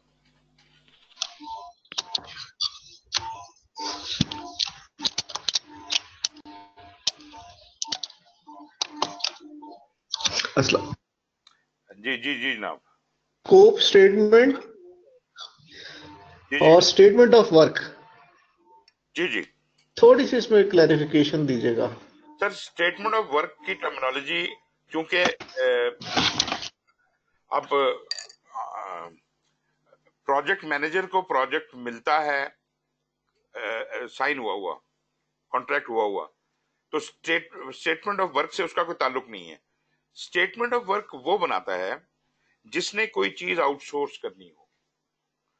जो काम उसने आउटसोर्स करवाना है उसकी जो एक ब्रीफ स्टेटमेंट लिखी जाती है, जो ठेके पे देना है काम, उसकी जो ब्रीफ स्टेटमेंट लिखी जाती है, उसको कहते हैं स्टेटमेंट ऑफ़ वर्क उस ब्रीफ स्टेटमेंट की बुनियाद पर फिर हम प्रोक्योरमेंट डॉक्यूमेंट्स बनाते हैं, जिसमें आरएफपी ये, वो, सारी चीज़ें आती हैं। फिर उसकी, उसके ऊपर बिड्स आती हैं। फिर आप उसी के मुताबिक सिलेक्शन होती है। मतलब जो बुनियादी डॉक्यूमेंट है प्रोक्योरमेंट को शुरू करने वाला, उसको कहते हैं स्टेटमेंट ऑफ़ वर्क और ये कौन करता है? ये कस्टमर जिसने खरीदनी होती है सर्विस जो जो ठेका देना चाह रहा होता है और सर्विसेज़ लेना चाह रहा होता है। बायर कहते हैं ना उसको। Buyer creates the statement of work तो ये तो हो गया। अगर एक तरह से देखा जाए तो वो भी उस पोर्शन ऑफ़ वर्क का थोड़ा बहुत स्कोप ही बता रहा होता है। जैसे चार्टर में हम थोड़ा सा स्कोप दे रहे होते हैं प्रोजेक्ट का। इस तरह उस काम का जो ठेके पे देना है, उसका थोड़ा सा स्कोप उसमें डिफाइन कर रहा होता है। लेकिन वो होती है स्टेटमेंट ऑफ़ वर्क अब आ जाइए स्कोप स्टेटमेंट पे। स्कोप स्टेटमेंट वो चीज़ है जिसको आम तौर पे आप लोग अपनी ऑर्गेनाइजेशन के अंदर स्कोप ऑफ़ वर्क कहते हैं ना। एसओडब्ल्यू जिसे कहते हैं आप। This is not international term लेकिन अक्सर लोग इसको स्कोप ऑफ़ वर्क कहते हैं। तो ये चीज़ असल स्कोप स्टेटमेंट है। और scope statement should be should be the most detailed document about scope इससे पेशतर scope was everywhere scope was in business case scope was in feasibility scope was in charter scope was in statement of work also बहुत सी जगहों पे scope मिलेगा, लेकिन scope continuously evolve होता आ रहा है। वो हाई लेवल स्कोप था, अब डिटेल्ड लेवल स्कोप आ रहा है। तफसीली स्कोप जो है, उसको हम स्कोप स्टेटमेंट कहते हैं, और this is created by the project manager not anyone else ये प्रोजेक्ट मैनेजर के डोमेन में आता है। कि वो स्कोप स्टेटमेंट बनाए। जी सर मेरा ख्याल आपका माइक मैंने ऑफ़ कर दिया, आप दोबारा हाथ खड़ा करेंगे? जी, नासिर साहब। बात समझ आ गई? जी, नासिर साहब, बात समझ आई?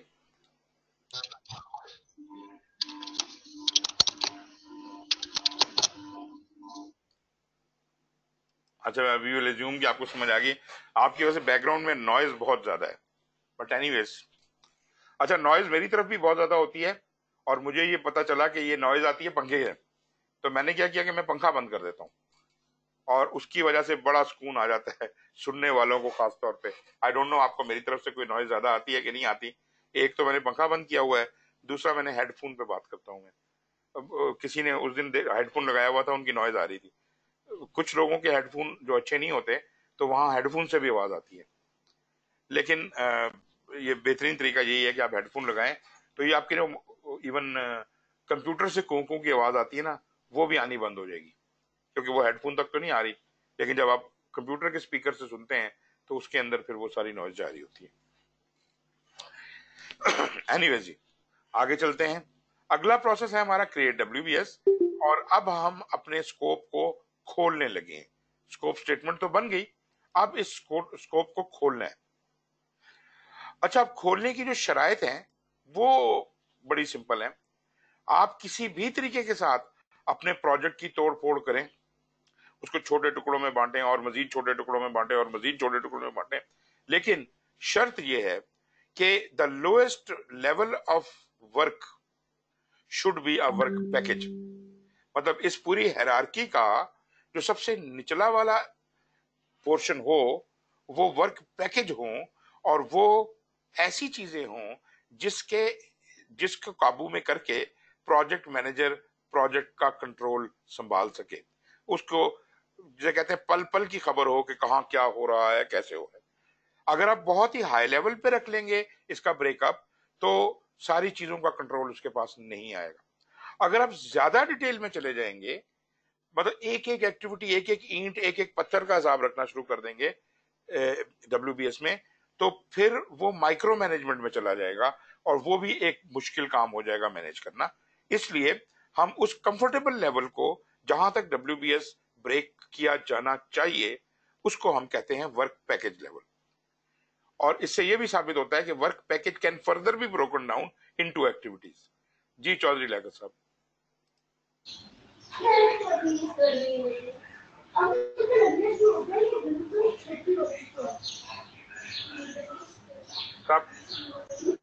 चौधरी साहब, आपकी नॉइस काफ़ी ज़्यादा आ रही है पीछे से। आप क्या कहना चाह रहे हैं? चैट में लिख दीजिए।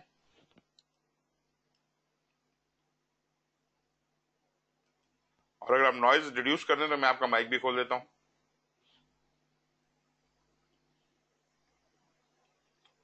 ये लाकर साहब माइक खोल दिया आपका फिर दोबारा।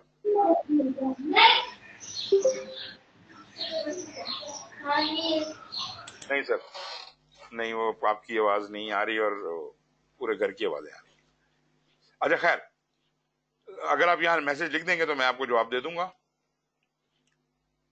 ओके, चलिए आगे फिर आप लिख दीजिएगा, मैं आगे कंटिन्यू करता हूँ।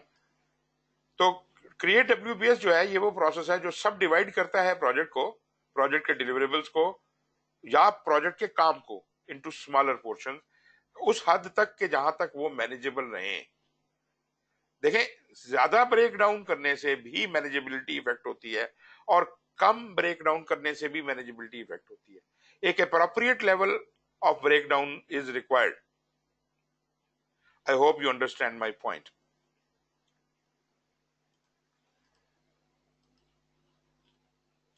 की बेनिफिट्स इसके ये आपको एक ऐसा फ्रेमवर्क देती है कि क्या चीज़ कब डिलीवर होनी है। मतलब आपको ये, आप बताने के काबिल हो जाते हैं कि ये चीज़ अब इस वक्त डिलीवर होगी, ये इस वक्त डिलीवर होगी। मतलब ये डिटर्मिन करने के लिए ज़रूरी है कि ये ब्रेकडाउन बने। मतलब टाइम तो नहीं इस वक्त एग्जैक्टली पता होता, लेकिन कम अज कम आपको मेजर डिलीवरेबल्स का पता चल जाता है। This process is performed once or at pre defined points in the project अगर आप फ़ेज़ वाइज काम कर रहे हैं तो हर फ़ेज़ में ये काम होगा। ओवरऑल प्रोजेक्ट में भी होता, ये काम होता है। और अगर आइट्रेशन में काम करें एजाइल में तो हर आइट्रेशन में ये काम होगा। ओके जी। इसमें होता क्या है? इसमें इनपुट्स जो हैं, वही हैं स्टैंडर्ड प्रोजेक्ट मैनेजमेंट प्लान है प्रोजेक्ट डॉक्यूमेंट्स हैं, और यहाँ पे गौर कीजिएगा कि प्रोजेक्ट डॉक्यूमेंट्स में हमें स्कोप स्टेटमेंट तो चाहिए ही चाहिए ना। लेकिन रिक्वायरमेंट्स डॉक्यूमेंट भी चाहिए। क्यों? क्योंकि हमने उन रिक्वायरमेंट डॉक्यूमेंट को मद्देनजर रख के ब्रेक डाउन करना होगा। और एंटरप्राइज फैक्टर और प्रोसेस एसेट्स हैं। टूल्स इसमें बड़े सिंपल हैं जी एक्सपर्ट जजमेंट तो हम पहले बहुत अच्छी तरह जानते हैं। डीकम्पोजिशन नई चीज़ है, ये पहले हमने कभी नहीं सुना। डीकम्पोजिशन क्या है? Decomposition is a skill of breaking down an item into smaller and smaller and smaller parts ये जो डीकम्पोजिशन का स्किल है, ये बड़ा एनालिटिकल स्किल है, ये बड़ा लॉजिकल स्किल है, और इसके लिए हाई लेवल ऑफ़ इंटेलिजेंस चाहिए। एक आम इंटेलिजेंस का बंदा बहुत ज़्यादा डिटेल में चीज़ों को तोड़ फोड़ नहीं सकता। एक आम आदमी को इंटेलिजेंस के बंदे को आप कहेंगे कि यार इसके ब्रेकडाउन बना दो प्रोजेक्ट की, वो कहेगा प्रोजेक्ट के चार हिस्से बन गए बस। हिस्सों में क्या होगा, उसको समझ नहीं आएगा उससे आगे। तो मतलब ये कि थोड़ा इसमें कंट्रोल चाहिए और थोड़ा कंसंट्रेशन चाहिए और थोड़ी अकल चाहिए इन चीज़ों को ब्रेक डाउन करने की। और मैं एग्जांपल आपको यूँ दूँगा कि आप देखते होंगे कि बच्चे ये इंक्विजिटिवनेस में बहुत ज़्यादा होती है। यहाँ हमें इंक्विजिटिवनेस चाहिए। इंक्विजिटिव बच्चे ज़्यादा होते हैं, कुछ होते हैं, ज़्यादा कुछ कम होते हैं। एक बच्चे को आप खिलौना लेके देते हैं, वो उसे खेलता है। एक बच्चा उस खिलौने को खोल देता है, तोड़ देता है टुकड़े टुकड़े कर देता है। दरअसल जिस बच्चे ने खिलौना तोड़ा, वो एनालिटिकल स्किल या डिकम्पोजिशन स्किल्स उसमें बे इंतहा है। क्योंकि वो कहते हैं, यार, ये गाड़ी जो चलती है, इसमें बत्ती जलती है, ये क्यों चलती है? वो इंक्विजिटिव हो रहा है। क्यों चलती है? इसके अंदर है क्या? How can it behave like this तो वो जनाब खोल के, तोड़ के अंदर से देखना चाहता है, अंदर क्या पुर्जे चल रहे हैं, अंदर सिस्टम क्या चल रहा है। तो बेसिकली ये इंक्विजिटिवनेस है जो आपको डिकम्पोज करने का बताती है। इसी तरह कुछ लोग जो बड़े भी होते हैं मतलब उनमें कुछ लोग, आप आप में से बहुत से लोग ऐसे होंगे कि अगर टीवी खराब हो जाए तो हम मैकेनिक को बुलाओ। कुछ लोग ऐसे होंगे वो कहें नहीं यार मैकेनिक को छोड़ो टीवी खोल के बैठ जाते हैं। खुद पता है, कुछ नहीं है टीवी का। टीवी खोल के बैठ जाएँगे। This is the decomposition skill वो देखते हैं अच्छा स्क्रूज कहाँ कहाँ लगे हैं उनको ढूंढते हैं उनको खोलते हैं फिर अंदर का ऑब्ज़र्व करते हैं। And generally they find the fault if they even can not correct it but they can find the fault sometimes but this is good decomposition का स्किल होना चाहिए क्योंकि डीकम्पोजिशन का स्किल होगा तोड़ना और जोड़ना तभी मुमकिन है। तोड़ेंगे तो जोड़ेंगे ना। जब वो टीवी को खोलेगा तो टीवी को बंद करेगा। और जब बंद करेगा, पता चलेगा दो स्क्रू खाली बच गए तो कहेगा, ये कहाँ से आ गए तो बुनियादी तौर पे this is a learning process यहाँ पे इसका इस्तेमाल बहुत ज़्यादा है, क्योंकि हमने पूरे प्रोजेक्ट को छोटे छोटे छोटे हिस्सों में बांटना है। मतलब मल्टी लेवल्स में बांटना है और उस लेवल तक बांटना है जहाँ पे अल्टीमेटली कंट्रोल कंट्रोलेबल पार्ट आ जाए, जिसको हमने कहा work package is the lowest part of a W B S work package जो है, मैंने जैसे पहले अभी भी बोला कि work package can be further broken down to activities but this is not necessary because W B S is created for measuring project progress and इस तरह की चीज़ें। प्रोजेक्ट मैनेजर को जो लेवल ऑफ़ इंटरेस्ट है, वो वर्क पैकेज तक है। मैं थोड़ा वजाहत कर देता हूँ कि वर्क पैकेज क्या होता है और एक्टिविटी क्या होती है। फॉर एग्ज़ाम्पल एक घर बना रहे हैं आप। उस घर के अंदर एक कमरा है वो कमरा एक कंट्रोल अकाउंट हो सकता है। मतलब तीन कमरे हैं टोटल आप कहें जी, इस इस कमरे का बजट अलग है, उस कमरे का अलग है, उस कमरे ओवरऑल बजट पूरे प्रोजेक्ट का। तो वो एक कंट्रोल अकाउंट है, जिसका मैं बाद में ज़िक्र करूँगा, वो अकाउंटिंग से रिलेटेड होता है। लेकिन इस कंट्रोल अकाउंट इस कमरे के अंदर मेजर पोर्शन जो है से के चार वॉल्स हैं, एक छत है, एक ज़मीन है, फर्श है। तो ये कुछ छह आइटम हैं जो वर्क पैकेजेस हैं। और हर वर्क पैकेज के अंदर there are going to be a number of activities दीवार बनाने के लिए मुझे मिक्स सीमेंट मिक्स करना पड़ेगा, मुझे कुछ और काम करना पड़ेगा, ईंटें लगानी पड़ेंगी, मिस्त्री कुछ कुछ करना पड़ेगा। मतलब दीवार बनेगी, फिर प्लस्तर होगा, फिर पेंट होगा मतलब lot many activities are included in this work package मगर प्रोजेक्ट मैनेजर के पॉइंट ऑफ़ व्यू से ये दीवार बन रही है। और दीवार बनाने के काम को वो मेयर करना चाहता है, कितनी दीवार बन गई। तो उसके लिए प्रोग्रेस गैदरिंग के लिए ये काफ़ी है कि दीवार बन रही है और दीवार की वो प्रोग्रेस ले ले। तो बुनियादी तौर पे प्रोजेक्ट को मेजरेबल बनाने के लिए या उसको अकाउंटेबल बनाने के लिए हमें वर्क पैकेज काफ़ी है। लेकिन काम करने के लिए फिजिकली जब फिजिकली काम करना होगा तो ईंटें तो लगानी पड़ेंगी तो हमें एक्टिविटीज़ की ज़रूरत भी पड़ेगी, लेकिन प्रोजेक्ट मैनेजर की प्रोग्रेस जो है वो वर्क पैकेजेस के ऊपर बेस्ड होगी। तो अब आप ये, आप डिसाइड कर लीजिए कि किस लेवल तक आपने डीप जाना है वर्क पैकेज आपका किस लेवल पे होगा। ये डिपेंड करता है कम्प्लेक्सिटी और सेंसिटिविटी ऑफ़ योर प्रोजेक्ट के ऊपर।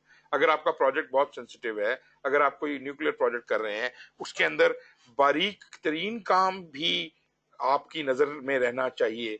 तो इसका मतलब है कि आपका वर्क पैकेज लेवल काफ़ी नीचे चला जाएगा। और उसके अंदर फिर कोई छोटी दो चार एक्टिविटीज़ हो सकता है उसके अंदर भी हो, लेकिन आपका वर्क पैकेज लेवल उतना नीचे चला जाएगा क्योंकि आपको ज़्यादा बारीकी से चीज़ों को मॉनिटर करने की ज़रूरत पड़ेगी। आमतौर पे आपकी कम्प्लेक्सिटी आपको बता देती है कि किस लेवल तक आपने जाना है। तो ये है जी डीकम्पोजिशन का स्किल ये जब हमने डब्ल्यूबीएस बनाना है तो हमें चाहिए वर्क वर्क पैकेजेस बन जाएँगे। और बाद में वर्क पैकेजेस को खोलना पड़ेगा जाकर और एक्टिविटीज़ बनानी पड़ेंगी, वहाँ पर भी हम इस्तेमाल करेंगे इसी डीकम्पोजिशन के स्किल को।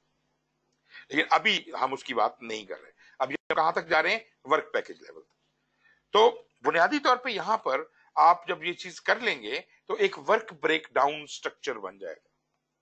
ठीक है जी, मैं आपको दिखाता हूँ अभी। जैसे आपका ऑर्गेनाइजेशन स्ट्रक्चर नहीं होता है ऊपर से नीचे की तरफ़। ऊपर एक चीज़ के नीचे डब्बे बने हुए फिर डब्बे डब्बे। तो इस तरह से आपका वर्क ब्रेकडाउन स्ट्रक्चर यहाँ बन जाता है। और वर्क ब्रेकडाउन स्ट्रक्चर जो है, वो दिखाता है आपको कि प्रोजेक्ट ऊपर प्रोजेक्ट का नाम टॉप पे लिखा हुआ है, फिर उसके अंदर करें फ़ेज़ वाइज आपने डिस्ट्रीब्यूट किया है, या वर्क वाइज किया, जैसे मर्ज़ी। आपकी मर्ज़ी है, आप डब्ल्यूबीएस जैसे मर्ज़ी बनाए। ये कोई कैद नहीं है, कोई तरीका नहीं है कि जी आपने फ़ेज़ फ़ेज़ फ़ेज़ वाइज ही तोड़ना है। तो ये फेजेस हैं, फिर फेजेस के अंदर ये है, फिर उसके अंदर ये आप कहें तो आप उसे सब प्रोजेक्ट वाइज ब्रेक डाउन कर लें। आप उसको प्रोडक्ट वाइज ब्रेक डाउन कर लें। हमें इससे कोई एतराज़ नहीं है। आप किस तरह ब्रेक डाउन करते हैं, आप ज़्यादा बेहतर जज हैं इस बात के कि कैसे ब्रेक डाउन करना है। लेकिन ये जहन में रहे कि आपके आखिरी लेवल जो है, वो वर्क पैकेज लेवल होना चाहिए। वो काम होना चाहिए और वो वो कंट्रोलेबल होना चाहिए। काम होना चाहिए और कंट्रोलेबल होना चाहिए। ऐसा ना हो कि प्रोडक्ट वाइज ब्रेक डाउन करते आ रहे हैं आपने गाड़ी को ब्रेक डाउन करते करते एक स्क्रू तक ब्रेक कर दिया। तो स्क्रू को करना क्या है? ये नहीं बताया। तो मतलब ये है कि, जो लोएस्ट लेवल है, वो स्क्रू नहीं हो सकता। वो कम अज कम ये तो हो कि स्क्रू लगाओ। काम तो हो ना वो कम अज कम स्क्रू का लगाना। तो इसका मतलब ये हुआ कि आपको एक तो लेवल किस लेवल तक जाना है और दूसरा वो काम होना चाहिए। इसके, ये जो लोएस्ट लेवल आपके वर्क पैकेजेस हैं अगर इन सारे वर्क पैकेजेस को हम एक एक्सेल शीट में कंपाइल कर लें कि जी ये लोएस्ट लेवल पे ये ये ये काम तो सारे वर्क पैकेजेस को उधर लिस्ट कर लिया जाए। मेरा ख्याल आवाज़ हमारी थोड़ी सी नेट का प्रॉब्लम आने लगा है। आपको आवाज़ मेरी आ रही है कि नहीं आ रही है? आ रही है जी इस वक्त आवाज़ हाथ खड़ा करें।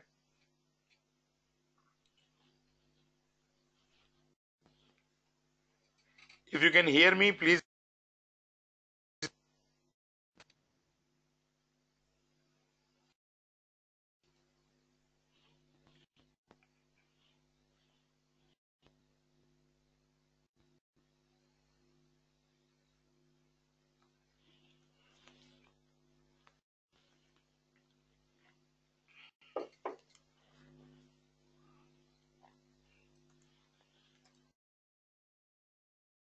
जी मलिक साहब आपको मेरी आवाज़ आ रही थी? जी सर आ रही है पहले बंद हो गई थी कि आ रही थी उस वक्त भी? जी बीच में थोड़ी सी बंद हुई थी लेकिन फिर आ गई। पहले कट कट के आ रही थी अब सही आ रही है। अच्छा और बाकी सब लोगों को मेरी आवाज़ क्लियर आ रही है इस वक्त? हाथ खड़ा कीजिएगा।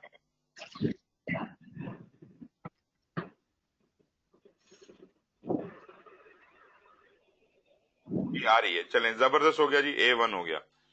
अच्छा जी आ, तो मैं बात ये कर रहा था कि जो आपकी डब्ल्यू बना है उसका जो लोएस्ट लेवल है वो है वर्क पैकेजेस अगर इन वर्क पैकेजेस को उठा के एक लिस्ट बना ली जाए उनको एक नंबर एलोकेट कर दिया जाए उनका नाम रख दिया जाए हर हर डब्ल्यू वर्क पैकेज का और उसकी एक ब्रीफ डिस्क्रिप्शन लिख ली जाए और अगर कुछ और उसके बारे में पता है तो वो लिख लिया जाए तो ये जो एक टेबल सा बनेगा, एक वर्कशीट सी बनेगी this is actually your W B S dictionary this is called your W B S dictionary तो बुनियादी तौर पे दो मेजर चीज़ें यहाँ से निकल रही हैं क्रिएट डब्ल्यू बी एस से एक डब्ल्यू बी एस खुद और दूसरा डब्ल्यू बी एस डिक्शनरी ये दो चीज़ें और जो स्कोप स्टेटमेंट हमने बनाई थी पिछले स्टेप के अंदर, उन तीनों को अगर मिला लिया जाए तो this is called scope base line इसको स्कोप बेस लाइन के लिए पेश किया जाता है इन तीन चीज़ों को, और इसके ऊपर जो आपका स्पॉन्सर या डायरेक्टर या बोर्ड है, वो उसको साइन ऑफ़ करता है। ये स्कोप फ्रीज हो जाता है। इसके बाद अब आपको इजाज़त नहीं है स्कोप में कोई तब्दीली खुद से करने की। अगर कोई तब्दीली करनी पड़ी तो आपको प्रॉपर चेंज रिक्वेस्ट का प्रोसीजर एक्टिवेट करना पड़ेगा। आई होप ये बात क्लियर हो गई। और जो प्रोजेक्ट डॉक्यूमेंट्स में अपडेट हो रहे हैं, वो एजम्पन हो रही हैं रिक्वायरमेंट डॉक्यूमेंट्स हो रहे हैं, और ये सब। अभी हम इसको मजीद तफसील से देखते हैं जी। डब्ल्यू को इतना बड़ा मुश्किल काम नहीं है, लेकिन अगर आपने नहीं बनाया हुआ तो फिर शायद आपको थोड़ा सा अजीब लगे। एनी जी, यहाँ पे इसको अगर हम इधर देखें तो ये बिल्कुल आपको नज़र आएगा कि scope base line is part of the project management plan and जो बाकी डॉक्यूमेंट्स जा रहे हैं, वो डॉक्यूमेंट्स में जा रहे हैं। इनपुट तो मेरा ख्याल है वैसे ही क्लियर है। ओके जी। डब्ल्यू क्या है? डब्ल्यूबीएस एक हेरार्किकल डिकम्पोजिशन है हेरार्किकल स्ट्रक्चर है। Of the total scope of work पूरे प्रोजेक्ट में जो कुछ होना है ना, वो इस डब्ल्यूबीएस के अंदर एनकम्पस्ड होना है। प्रोजेक्ट का नाम, अब जो उसके शाखें होंगी से के चार शाखें आपने बनाई हैं, उन, इसका मतलब है कि total scope of work has been broken down into four parts and then each part is further broken down मतलब इस अहाते के अंदर अंदर ही पूरे प्रोजेक्ट का स्कोप हो जाएगा कवर हो जाएगा। कोई चीज़ इस स्कोप जो प्रोजेक्ट के स्कोप में है, वो डब्ल्यू से बाहर नहीं होनी चाहिए। अगर कोई चीज़ डब्ल्यूबीएस में इनकम्पस नहीं हो पाई तो इसका मतलब है कि वो रह जाएगी और प्रोजेक्ट कंप्लीट नहीं होगा। प्रोजेक्ट की सारी रिक्वायरमेंट्स पूरी नहीं होंगी। तो ये बहुत केयरफुली डिज़ाइन करना है कि सब चीज़ें इसके अंदर एनकम्पस हो जाए। Total scope of work to be carried out by the project team to accomplish the project objective and create the required deliverables ठीक हो गया जी। WBS organizes and defines the total scope of project and represents work specified in the current approved project scope statement. अब ये जेन में रखिए कि scope statement की बुनियाद पे ये बन रहा है तो प्रोजेक्ट स्कोप स्टेटमेंट का भी अप्रूव हुआ हुआ होना ज़रूरी है। क्योंकि अगर स्कोप स्टेटमेंट फाइनल नहीं हुई हुई है तो हम डब्ल्यूबीएस नहीं बना सकते। और डब्ल्यूबीएस की वजह से अगर स्कोप स्टेटमेंट में तब्दीली होनी है तो उसके अप्रूवल दोबारा लेना पड़ेगा। It is not scope statement अलग से कोई बेस लाइन नहीं है। बेस लाइन तो यही है, लेकिन ये एक दूसरे के ऊपर इंपैक्ट कर रही है। इनपुट्स तो क्लियर है, उसमें तो मेरा ख्याल है कोई बहुत बात नहीं करने की ज़रूरत। डीकम्पोजिशन को देख लेते हैं। डीकम्पोजिशन क्या है जी? ये एक टेक्निक है जो कि चीज़ों को तोड़ने और मजीद तोड़ने का काम देती है। कैसे किसको तोड़ना है? प्रोजेक्ट के स्कोप को छोटे छोटे टुकड़ों में बांटना या फॉर दैट मैटर डिलीवरेबल को टुकड़ों में बांटना। तो मतलब ये डिलीवरेबल प्रोडक्ट ब्रेकडाउन भी हो सकता है ये स्कोप ब्रेकडाउन भी हो सकता है ये वर्क के हिसाब से भी ब्रेकडाउन हो सकता है ये ए, किसी भी तरह से आप उसको ब्रेकडाउन कर सकते हैं। आप कामों के हिसाब से कर सकते हैं, आप फेजेस के हिसाब से कर सकते हैं, मगर इसको स्मॉलर पार्ट तक लेके जाना है जो मैनेजेबल रहे। कहीं इतने छोटे टुकड़ों में ना बांट दीजिए कि उनको संभालना मुश्किल हो जाए।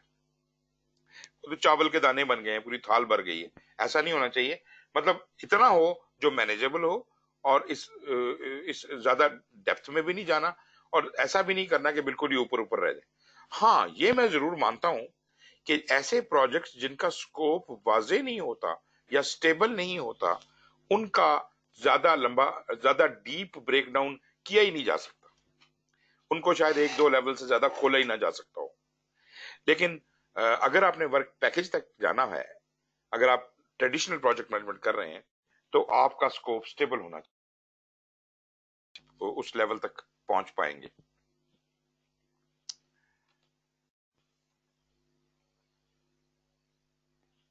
फिर जनाब कोई नेट थोड़ी सी प्रॉब्लम कर रहा है। लेट मी फिक्स इट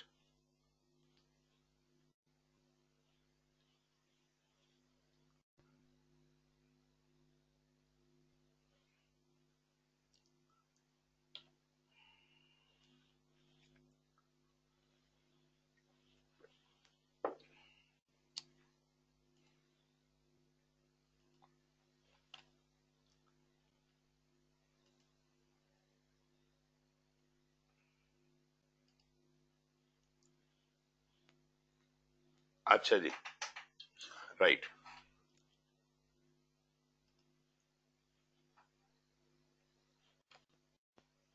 अच्छा जी फिर वही बात आ जाती है जी लेवल ऑफ़ डीकम्पोजिशन कितना खोलना चाहिए, इसको कितना डीप जाना चाहिए। Is often guided by the degree of control needed आप चीज़ों को किस हद तक कंट्रोल करना चाहते हैं? अगर बिल्कुल ही डेप्थ तक कंट्रोल करना चाहते हैं, और करना नहीं चाहिए वैसे, लेकिन अगर आपके सेंसिटिविटीज ऐसी हैं, आप न्यूक्लियर प्रोजेक्ट कर रहे हैं, आप अफोर्ड ही नहीं कर सकते कि निचले लेवल पे कोई मिस्टेक हो जाए। तब तो आपको इतना जाना पड़ेगा। तो अगर डिग्री ऑफ़ कंट्रोल इतना डीप चाहिए, तब तो ठीक है। अदरवाइज़ आमतौर पर आप सिर्फ़ उस लेवल तक कंट्रोल करते हैं जहाँ आपको कंट्रोल की रिक्वायरमेंट है। ताकि आप इफेक्टिवली इस प्रोजेक्ट को मैनेज कर सके।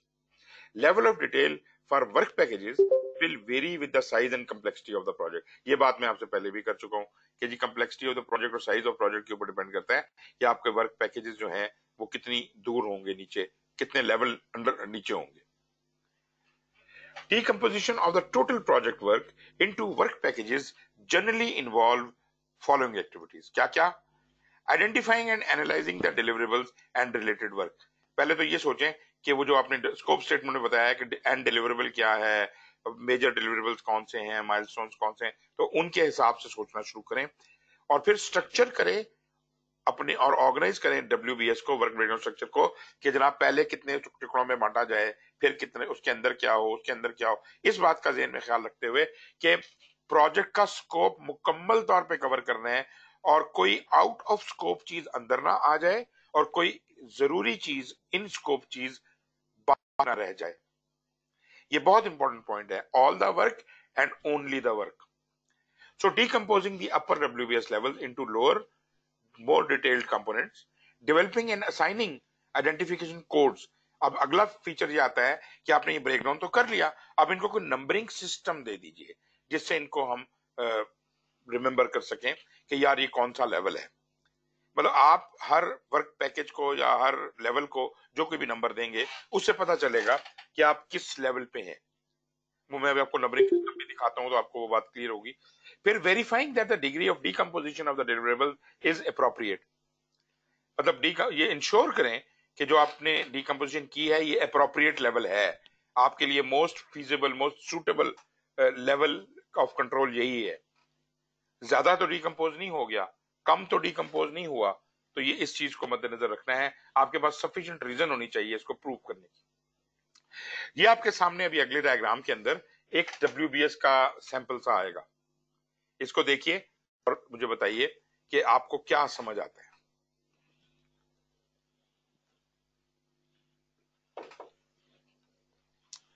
जी जनाब टोटल ऊपर लिखा हुआ है वैल्यू मैनेजमेंट सिस्टम प्रोजेक्ट मतलब ये एक प्रोजेक्ट का नाम है। इस प्रोजेक्ट में, प्रोजेक्ट के स्कोप को मुकम्मल तौर पे एड्रेस करने के लिए ये चार major portions of work required है। नीड असेसमेंट करना एक मेजर काम है। स्टैंडर्ड डेवलपमेंट एक मेजर काम है। सिस्टम इंजीनियरिंग एक मेजर काम है। और प्रोजेक्ट मैनेजमेंट मेजर काम है। उसने क्या किया? प्रोजेक्ट को तो नंबर दे दिया 1.0 और ये जो मेजर काम है 1.1, 1.2, 1.3 और 1.4 इनको उसी तरतीब में अगला लेवल दे दिया। अब आप देखिए अगर मैं इतना ही देखूँ तो ये पूरे प्रोजेक्ट के स्कोप को एड्रेस कर रहा है। अगर नहीं कर रहा तो फिर एक आध ब्रांच और ऐड करने की ज़रूरत पड़ेगी। मगर ये इंश्योर करें कि जो भी प्रोजेक्ट का स्कोप है इन चार हेडिंग्स में कंप्लीटली एनकम्पस हो सकता है कि नहीं हो सकता। अगर हो सकता है तो फिर अगला पॉइंट अब आप किसी एक ब्रांच को फिर दूसरी को फिर तीसरी को खो, मजीद खोलना शुरू करें। जो स्कोप उस एक ब्रांच का है उसके अंदर का ब्रेकडाउन उसको रिप्रेजेंट करना चाहिए। उसने कहा जी नीड असेसमेंट में फर्दर चार काम है इंपॉर्टेंट करंट सिस्टम का audit requirement determination alternative development और सिस्टम रिक्वायरमेंट डेवलपमेंट चलें जी बहुत अच्छी बात होगी। क्या आपकी नीड असेसमेंट पूरी तकमील तक पहुँच जाती है इन चार कामों को करने से। अगर नहीं पहुँचती तो फिर कोई पांचवा काम है तो वो भी शामिल कर लें। अगर इसमें से कोई अननेसेसरी काम है तो वो निकाल दें। फिर वो कहते हैं जी करंट सिस्टम ऑडिट करने के लिए उसको फर्दर दो टुकड़ों में बांटा component identification and component analysis क्या जनाब करंट सिस्टम ऑडिट का स्कोप पूरा हो जाता है इन दो चीज़ों से? वंडरफुल इसी तरह से ये जितनी भी लोअर लेवल पे चीज़ें आई हैं, ये जो 1.1.1.1 फोर्थ फिगर फोर्थ लेवल जो है, ये फोर्थ लेवल वाली जितनी चीज़ें हैं, इससे ज़्यादा मजीद नहीं खुल रहा। तो इसका मतलब है ये आपके वर्क पैकेजेस हैं। तो इस वक्त आपके छह वर्क पैकेजेस नज़र आ रहे हैं। ब्रांचेस अभी टू थ्री फोर नहीं खोली हुई उसने, लेकिन सिर्फ़ एग्ज़ाम्पल के लिए था। तो ये आपके वर्क पैकेजेस हैं। अब आपने इन वर्क पैकेजेस को आगे चलकर इन्हीं नंबरों के साथ इनकी एक लिस्ट बना लेनी है। इनके बेसिक इसकी डिस्क्रिप्शन लिख लेनी है। नाम तो आपने दिया ही हुआ है इन इन कामों को। तो इस तरीके के साथ आपकी वर्क ब्रेकडाउन स्ट्रक्चर डिक्शनरी भी बन जाएगी। मैं आगे दिखाऊँगा आपको कि exactly how does it look like एक और सैंपल देखते हैं जी। डीकम्पोजिशन में वो कहता है जी कि डब्ल्यूबीएस स्ट्रक्चर में भी क्रिएटेड थ्रू वेरियस अप्रोचेस कई तरीके हो सकते हैं। कुछ मतलब डब्ल्यूबीएस बनाने के, कागज़ पे हाथ से बनाना कंप्यूटर पे किसी कोई ऐसा टूल हो, है जनाब टूल्स काफ़ी सारे। डब्ल्यू बी एस प्रो के नाम से एक टूल है। फिर आप वो माइंड मैपिंग का हमने ज़िक्र किया था। एक अभी मैंने कल ही डाउनलोड किया है एक टूल उसका नाम है ट्रॉसियो के ऐसे कुछ है मैं बताता हूँ आपको। वो टूल जो है, उसमें डब्ल्यूबीएस का उसने पूरे का पूरा सिस्टम दिया हुआ है। ऑल दो माइंड मैपिंग का जो नॉर्मल ट्रेडिशनल मैकेनिज्म है, उसमें भी आप कर सकते हैं। एक मिनट ही मैं आपको बताता हूँ।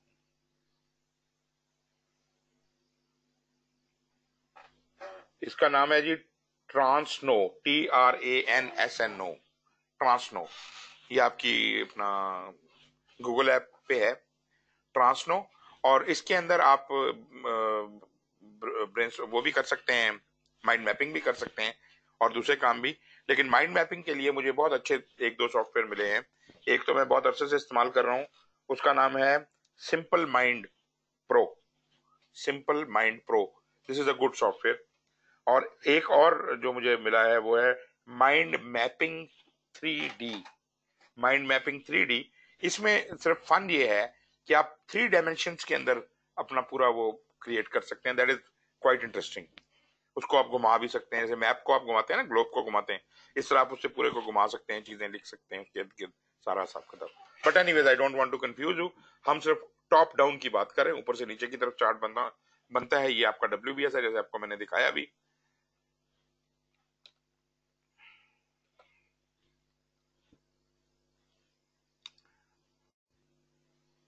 ये आपके सामने एक और चार्ट है, सॉफ्टवेयर प्रोडक्ट रिलीज़ फाइव। इसके अंदर नंबरिंग सिस्टम नहीं दिया हुआ, बाकी तकरीबन उसने, बाकी सब कुछ किया हुआ है। उसने कहा जी, software product release five, release इस प्रोजेक्ट को करने के लिए हमें प्रोजेक्ट मैनेजमेंट करनी पड़ेगी, प्रोडक्ट रिक्वायरमेंट करनी पड़ेगी, डिटेल डिज़ाइन करना पड़ेगा, कंस्ट्रक्ट करना पड़ेगा और इंटीग्रेशन टेस्टिंग करनी पड़ेगी। उसके हिसाब से ये पाँच एक्टिविटीज़ हो जाएँ तो पाँच लेवल्स इन पाँच लेवल्स के अंदर पूरा स्कोप कवर हो जाता है।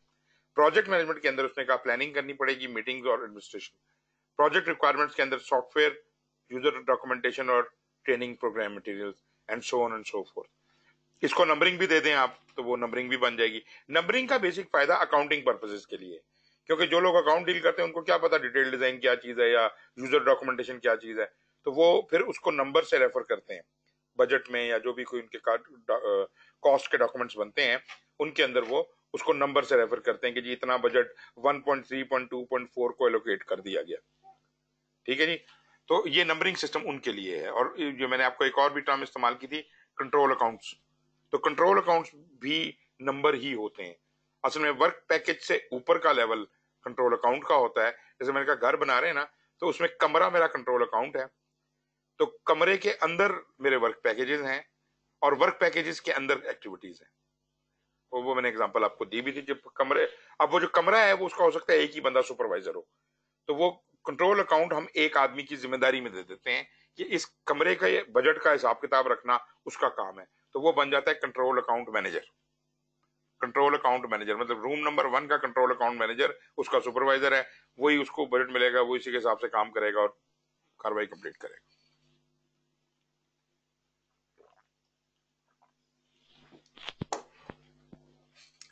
राइट जी, ये एक और एग्जांपल देख लीजिए। ये एक एयरक्राफ्ट सिस्टम की है। ये मैंने इसलिए एग्जांपल यहाँ पे रखी है कि इसमें इंटरेस्टिंग बात ये है कि इसमें थोड़ा सा हाइब्रिड मिलता है आपको। मतलब एक तरफ़ देखें तो ये सेंटर वाले जहाँ पे एयर व्हीकल बन रहा है। एयर व्हीकल का जो ब्रेकडाउन है वो प्रोडक्ट ब्रेकडाउन है। Air frame engine communication system फलाना फलाना। This is called product breakdown जबकि जो बाकी चीज़ें हैं, वो आपके ट्रेडिशनल प्रोसेस ब्रेकडाउन के तरीके से बनी हुई है। मतलब एयरक्राफ्ट सिस्टम बनाने के लिए हमें प्रोजेक्ट मैनेजमेंट करनी पड़ेगी ट्रेनिंग करनी पड़ेगी डाटा मैनेज करना है स्पोर्ट इक्विपमेंट है फैसिलिटीज़ हैं टेस्ट एंड एवेल्युएशन हैं।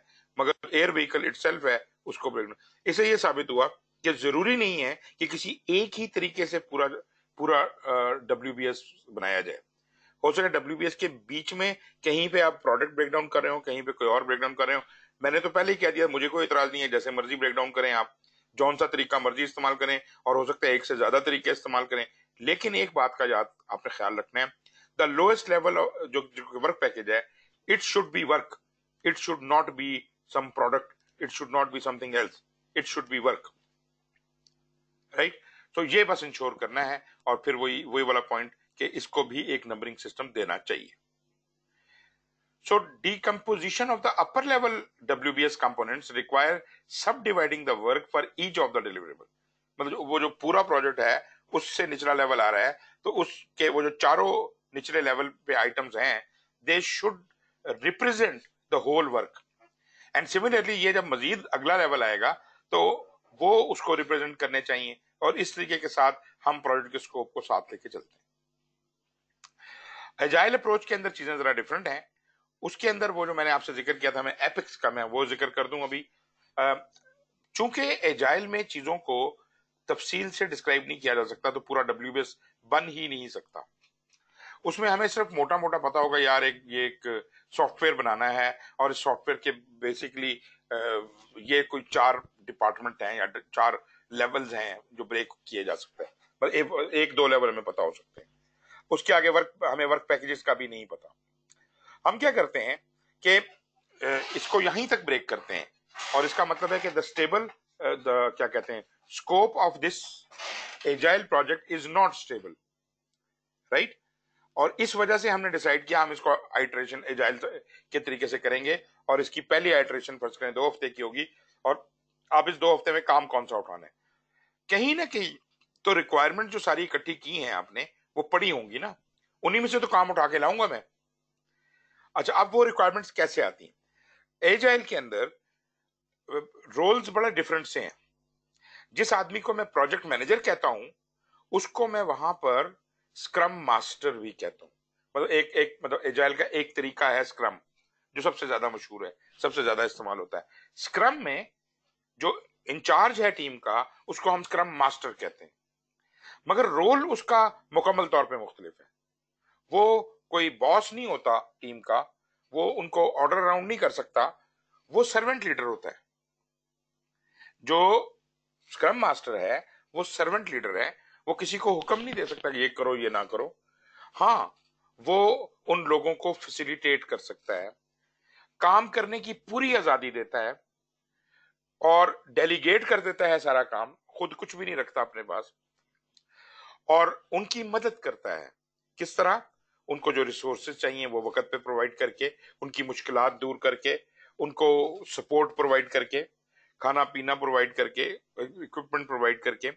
और अगर ज़रूरत पड़े और उसे लगे, होता उसको पता होती हैं चीज़ें, अगर वो समझे कि कोई लोग सही एजाइल की प्रैक्टिस नहीं कर रहे, उनकी ट्रेनिंग ऑर्गेनाइज करता है, उनको समझाता है, उनको कोचिंग देता है, उनको उनको मेंटरिंग करता है, ये वाले काम। लेकिन दबाव कहीं नहीं है।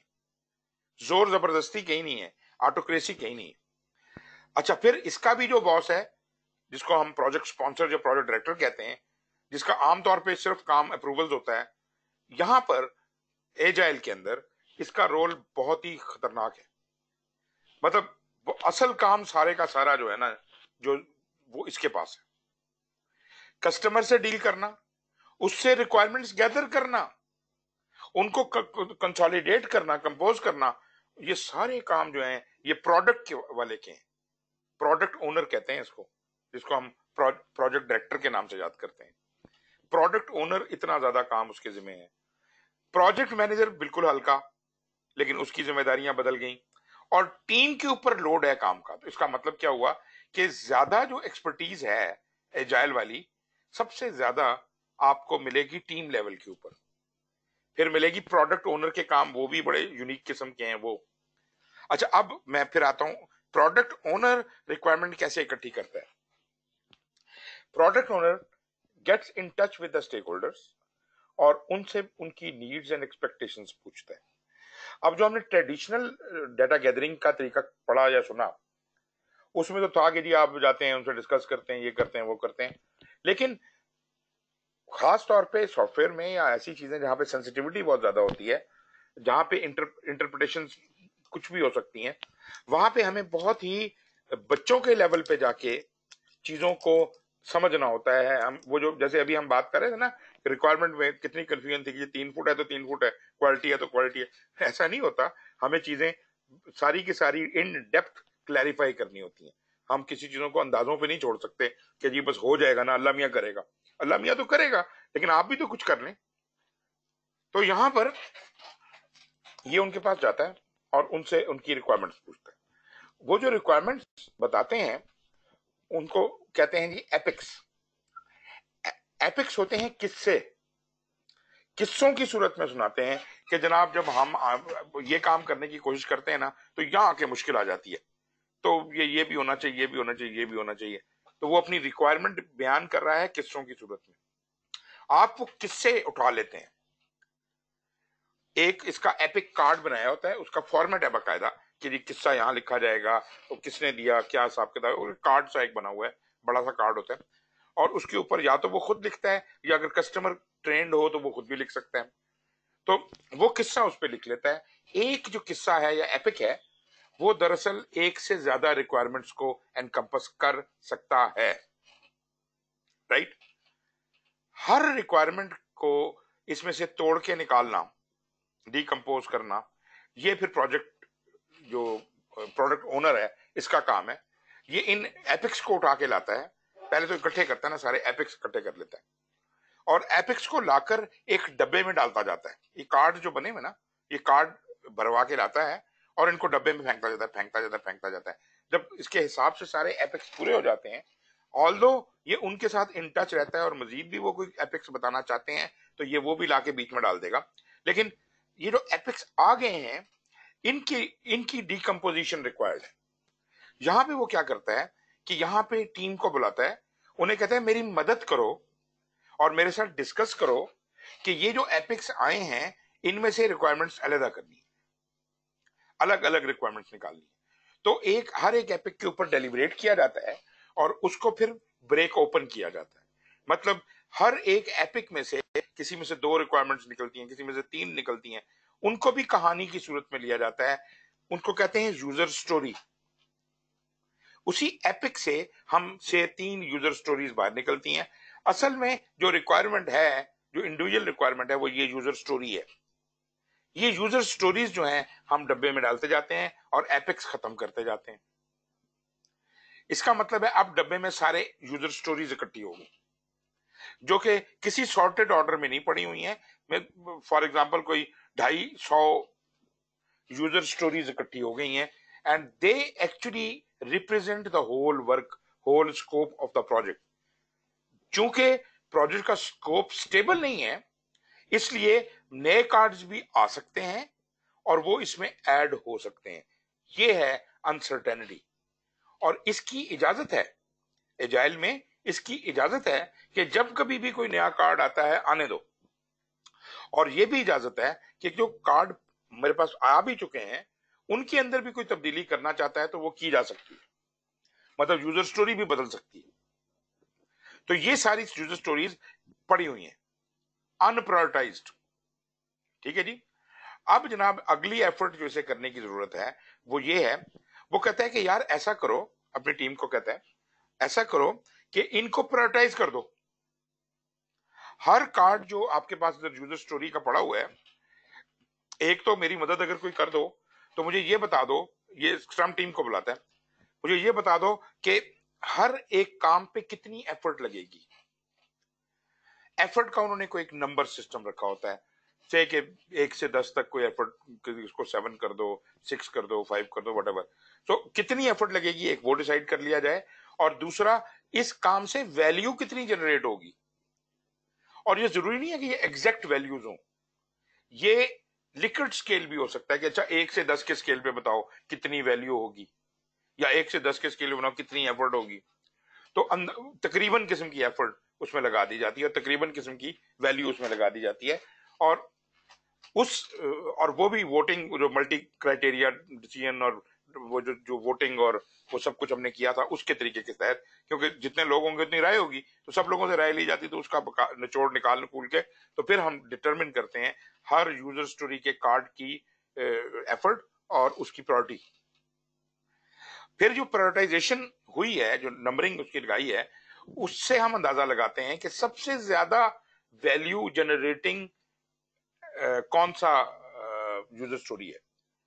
तो हाईएस्ट वैल्यू वाली चीज़ ऊपर आ जाए और लोएस्ट वैल्यू वाली चीज़ नीचे चली जाए।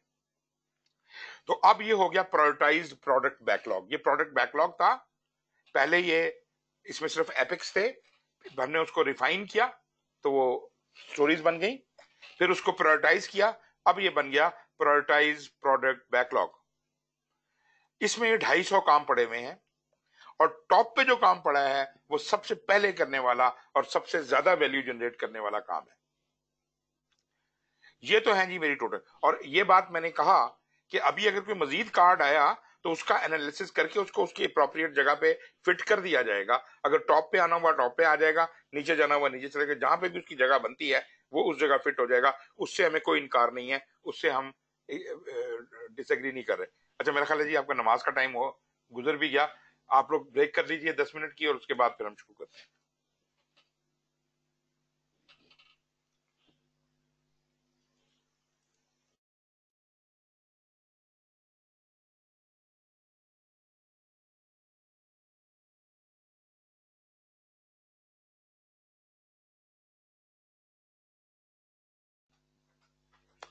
राइट जी, टाइम हो गया आई होप कि आप लोग आगे होंगे वापस। हमारे पास less than half an hour बाकी बचा है और इसमें हमने कुछ कंक्लूड करनी है चीज़ें। तो बात ये हो रही थी कि डीकम्पोजिशन के हवाले से एजाइल की मैं बात कर रहा था। मैं I just cut the story short मगर जनरली स्पीकिंग मैंने आपको जैसे बता दिया एपिक्स आती हैं, ये भी उसकी ज़िम्मेदारी है प्रोडक्ट ओनर की। वो उसको ब्रेक डाउन करके यूज़र स्टोरीज बनाता है। यूज़र स्टोरीज ये होगी रिफाइन होगी। जब एपिक्स रिफाइन होती हैं तो यूज़र स्टोरीज बन जाती हैं प्रोडक्ट बैकलॉग में डाल दी जाती हैं। प्रोडक्ट बैकलॉग में इनको प्रायोरिटाइज कर दिया जाता है तो ये प्रायोरिटाइज बैकलॉग बन जाता है। अब जो भी आइट्रेशन चलेगी, हर पहली आइट्रेशन जब चलेगी तो वो आएगी, उसके जो आठ दस लोग हैं, वो आके यूज़र स्टोरी को देखेंगे, इस पर कितनी एफर्ट लिखी हुई है, वो कितनी एफर्ट अंडरटेक कर सकते हैं इस दो हफ़्ते के पीरियड में। उसके हिसाब से वो उतने काम उठा लेंगे, जो उनकी एफर्ट के हिसाब से पूरे पड़ते हैं। वो काम उठा के ले जाएँगे और उसको वो दो हफ़्ते के अंदर कंप्लीट करेंगे। ये काम जो शुरू कर चुके होंगे या जो इनके इनके, ये उठा के ले जाएँगे, इनको कोई चैलेंज नहीं कर सकता, इनको नहीं चेंज कर सकता। बाकी पूरा प्रोडक्ट बैकलॉग पड़ा हुआ है, जिसमें कोई भी चीज़ नई भी ऐड हो सकती है यूज़र स्टोरी चेंज भी हो सकती है, सब कुछ हो सकता है। सवाए उन आठ दस कामों के जो ये टीम वाले उठा के ले गए हैं अपने आइट्रेशन के अंदर। इस कामों को उन्होंने अपना एक छोटा सा प्रोडक्ट बैकलॉग अंदर अपना बनाया होता है। उसको कहते हैं स्प्रिंट या आइट्रेशन को वो लोग स्प्रिंट कहते हैं। स्प्रिंट बैकलॉग कहते हैं। वो दस काम उठा के जो लाए हैं, वो उधर रख लिए हैं और उनमें से फिर वो पहला उठाते हैं, उसे करते हैं, फिर दूसरा उठाते हैं, उसे करते हैं और इसकी फिर प्रोग्रेस चलती रहती है। तो छोटी सी प्रोजेक्ट मैनेजमेंट उस एक दो हफ्तों की वहाँ पे होती रहती है। जितने काम वो कंप्लीट कर पाते हैं, अगर तो सारे ही कर लें वेरी गुड अगर वो दो काम रह जाते हैं तो कोई प्रॉब्लम की बात नहीं है।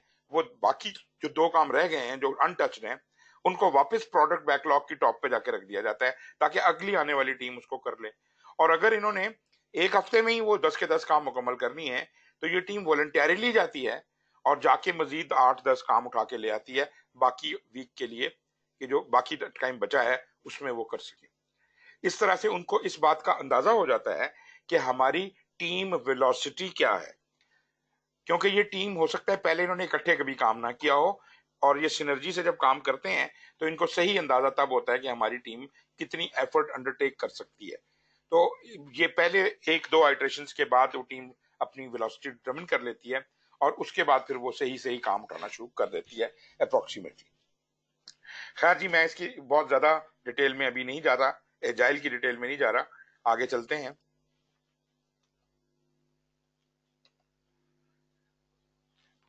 इसकी जो हमने करेक्टनेस देखनी है, मैं बल्कि आपको उधर अगले प्रोसेस के अंदर ही ले जाता हूँ ताकि ये बात क्लियर हो जाए। स्कोप बेसलाइन स्टेब्लिश हो जाएगी यहाँ से, जिसके अंदर क्या होता है प्रोजेक्ट स्टेटमेंट होती है डब्ल्यूबीएस होता है वर्क पैकेजेस होते हैं, और वर्क पैकेज मैंने आपको डिफाइन किया। प्लानिंग पैकेज भी एक चीज़ होती है। वर्क पैकेज तो आपको मैंने कहा सबसे लोएस्ट वाला पार्ट है। मतलब खोला ये भी जा सकता है, लेकिन ये डब्ल्यूबीएस का लोएस्ट पार्ट है, इसको हमने नहीं खोला एक्टिविटी लेवल तक नहीं लेके गए। प्लानिंग पैकेज क्या होता है? ये वर्क पैकेज और टॉप के दरमियान कोई भी लेवल हो सकता है, जिसके बारे में डाटा अवेलेबल नहीं है इबाम है, और इसके लिए हमें वेट करना पड़ेगा। जब तक हमें कोई खास इंफॉर्मेशन आ नहीं जाती, हम इसको खोल नहीं सकते। ऐसे पोर्शन को जिसको मजीद ना खोला जा सकता हो ड्यू टू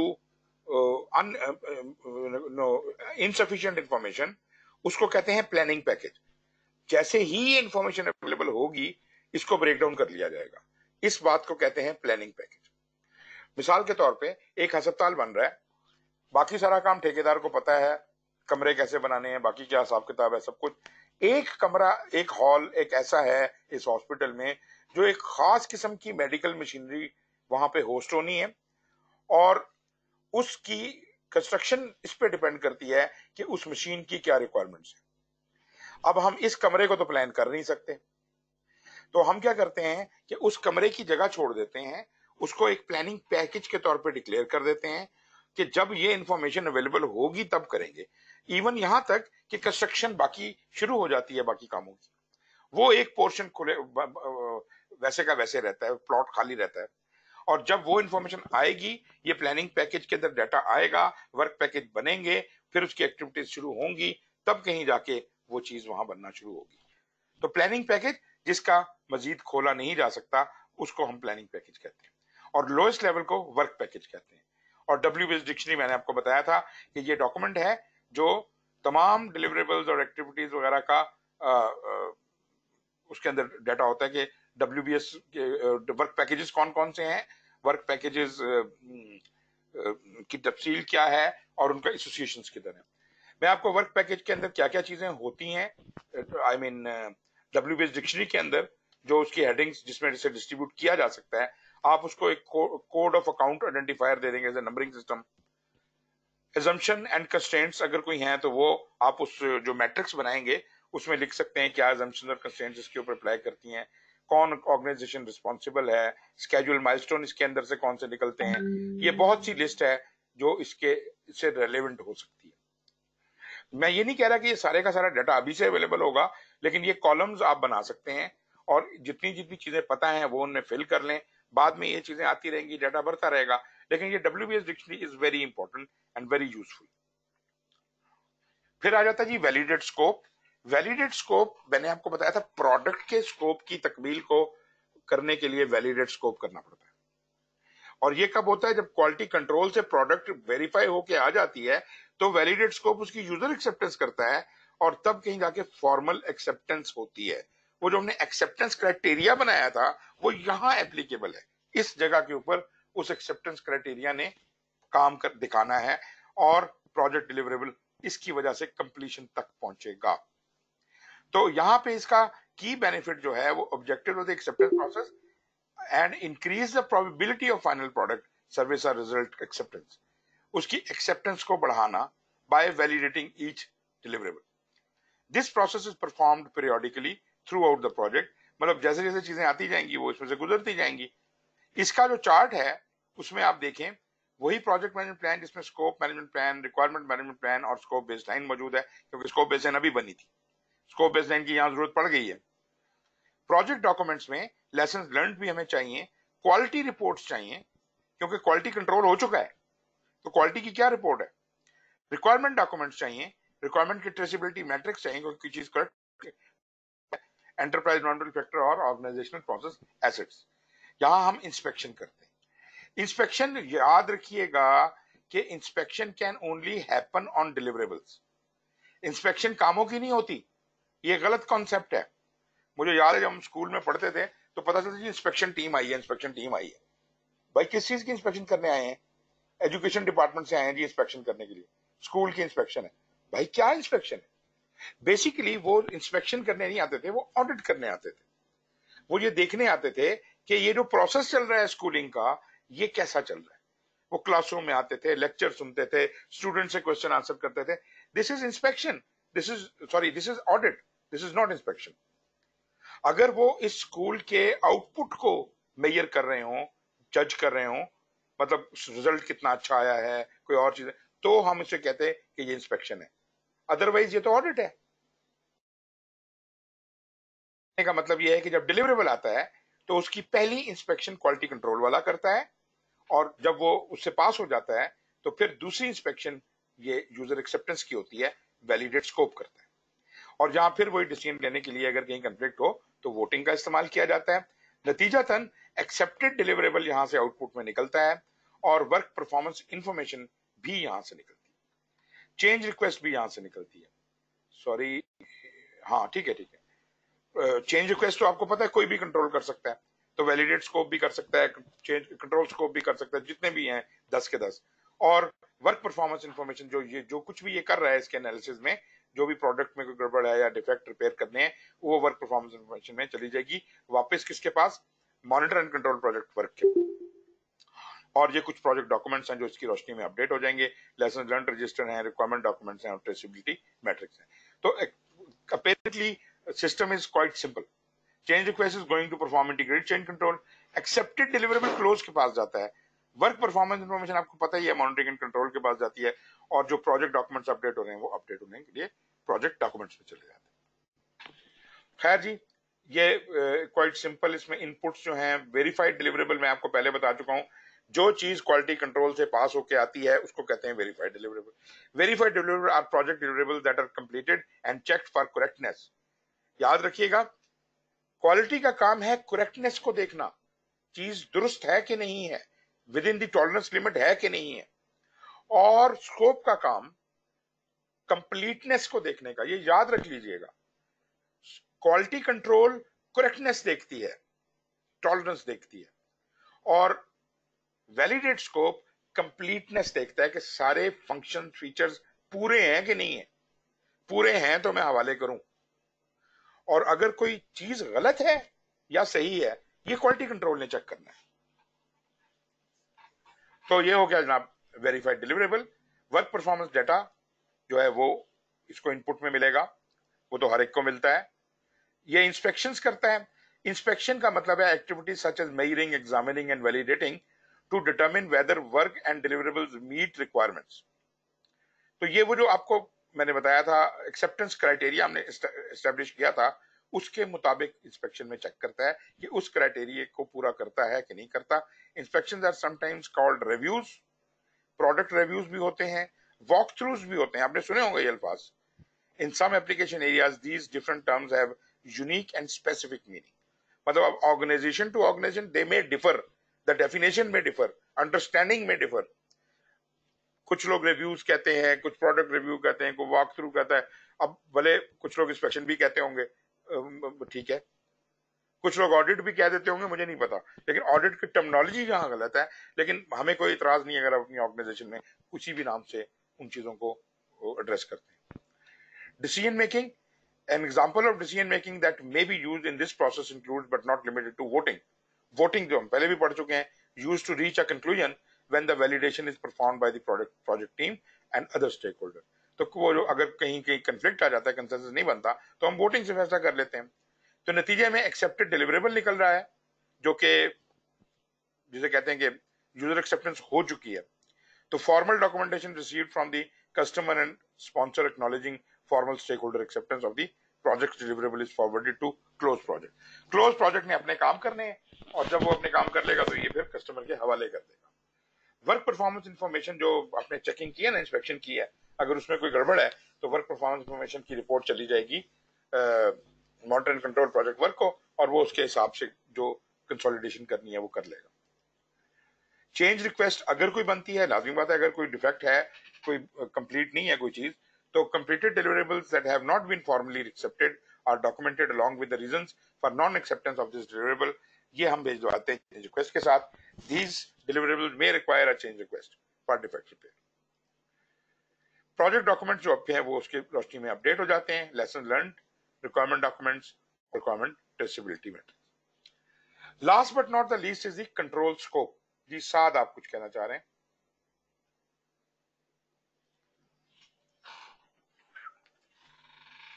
जी सर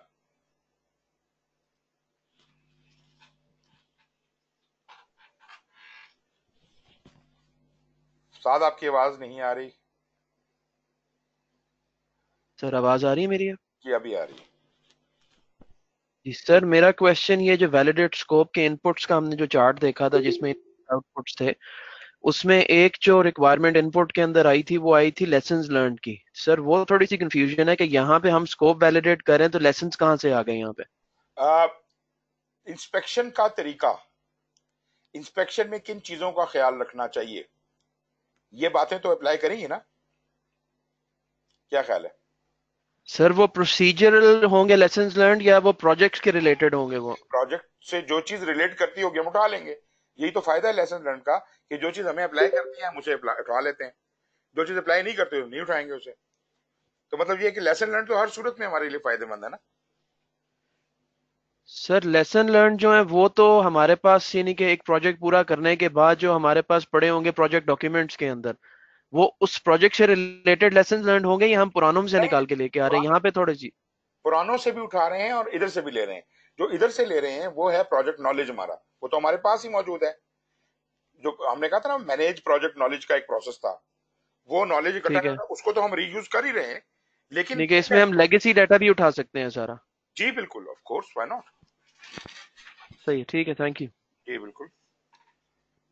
जी मोहम्मद नासिर खान साहब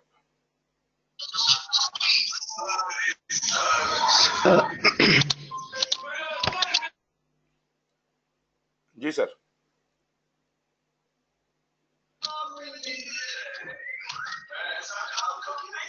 जी सर इसमें वैलिडेट स्कोप में आपने बताया कि करेक्टनेस हम चेक करते हैं प्रोडक्ट की ना? जी करेक्टनेस साथ ही आपने कहा था जी कंप्लीटनेस का भी एक पॉइंट बताया था वो मिस हो गया था रिपीट कीजिएगा।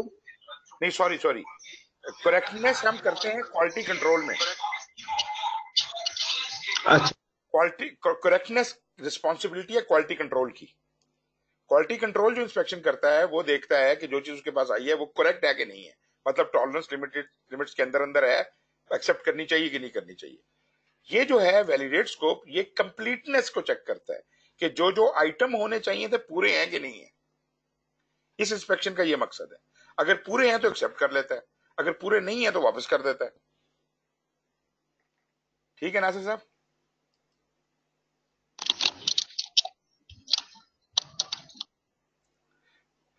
ठीक है नासिर साहब? अच्छा चलें। अच्छा जी point taken sir thank you अच्छा अच्छा मैं आपके लिए एक कमेंट है। आप ऐसा कीजिए कि एक हेडफोन लीजिए या वो जो होते हैं वो आप इस्तेमाल करें क्योंकि आपकी बहुत ज़्यादा बैकग्राउंड नॉइज़ है। तो इसको रिड्यूस कीजिए ताकि आपसे बात करना आसान हो जाए। राइट जी। आखिरी हमारा प्रोसेस कंट्रोल स्कोप है और नेचुरली इतना सारा कुछ पढ़ने के बाद कंट्रोल स्कोप तो आपके लिए बिल्कुल पीस ऑफ़ केक बन जाएगा, क्योंकि यहाँ पर हमने क्या करना है कंट्रोल स्कोप का मतलब है स्कोप के प्रोसेस मतलब जो प्रोसेस आपने आई मीन एग्जीक्यूशन में जो काम हुए हैं, वो काम किस हद तक प्रोजेक्ट के स्कोप की तकमील का बायस बन रहे हैं। मतलब whatever the performance data is received from execution what does it say about the of scope right so ये इसका ताल्लुक काम से है। It is postmortem of the work तो work performance data is compared against the project management plan and any variation in scope is registered here और फिर उसका अगर एक तो एनालिसिस किया तो वर्क परफॉर्मेंस इन्फॉर्मेशन निकली जो हमने मॉनिटर एंड कंट्रोल को भेज देनी है। और अगर कोई इसको लगता है कि यार ये तो गड़बड़ हो गई है इसकी चेंज रिक्वेस्ट करनी है तो ये भी चेंज रिक्वेस्ट लॉन्च कर सकता है। ये करता है प्रोसेस की बुनियाद के ऊपर। जबकि वैलिडेट स्कोप ने की थी उसने की थी डिलीवरेबल के बुनियाद के ऊपर कि वो कंप्लीट है या नहीं है। उस बुनियाद पे उसने चेंज रिक्वेस्ट लॉन्च की थी। ये प्रोसेस की बुनियाद के ऊपर कर रहा है कि जो काम हुए हैं वो किस हद तक स्कोप को पूरा कर रहे हैं या नहीं कर रहे सो so, इसका मकसद है monitoring the status of the project and product scope and managing changes to the scope baseline अगर स्कोप की बेसलाइन को तब्दील करना है तो उसके हिसाब से वो करेगा। की बेनिफिट इसका कि scope baseline is maintain throughout the project scope baseline बिल्कुल सही जगह पे रहती है। This process is perform throughout the project और इसके जो इनपुट्स टूल्स और आउटपुट्स हैं, उसमें आप देखें प्रोजेक्ट मैनेजमेंट प्लान है, जिसके अंदर उसको स्कोप भी चाहिए। उसको रिक्वायरमेंट मैनेजमेंट प्लान भी चाहिए, उसको चेंज मैनेजमेंट प्लान भी चाहिए, उसको कन्फिग्रेशन मैनेजमेंट प्लान भी चाहिए। आप ये गौर कीजिए कि स्कोप और रिक्वायरमेंट तो चाहिए चाहिए ना। चेंज मैनेजमेंट प्लान और कन्फिग्रेशन क्योंकि ये कंट्रोल है। चेंज लाएगा तो चेंज मैनेजमेंट प्लान चाहिए, उनका रिकॉर्ड रखेगा तो कन्फिग्रेशन मैनेजमेंट प्लान चाहिए। फिर स्कोप की बेसलाइन और अदर परफॉर्मेंस बेसलाइन सारी टाइम की कॉस्ट की, सब क्योंकि एक दूसरे पे इंपेक्ट करती हैं। प्रोजेक्ट डॉक्यूमेंट्स में इसको लेसन लर्न चाहिए requirement document requirement traceability matrix चाहिए और ये वर्क परफॉर्मेंस डेटा जो कि एग्जीक्यूशन से सारे कंट्रोलों को मिलता है, इसको भी मिल गया। ऑर्गेनाइजेशनल प्रोसेस एसेट्स लाजमी बात है कि इस कंट्रोल स्कोप करने के लिए कोई अगर लेसन लर्न या कोई अदर हेल्प कोई डॉक्यूमेंट कोई पॉलिसी अवेलेबल है तो वो हम इस्तेमाल करेंगे। डेटा एनालिसिस में यहाँ हम दो तरीके इस्तेमाल करें वेरियंस एनालिसिस और ट्रेंड एनालिसिस ये मैं पहले डिफाइन कर चुका हूँ, लेकिन और भी इसका ज़िक्र आएगा।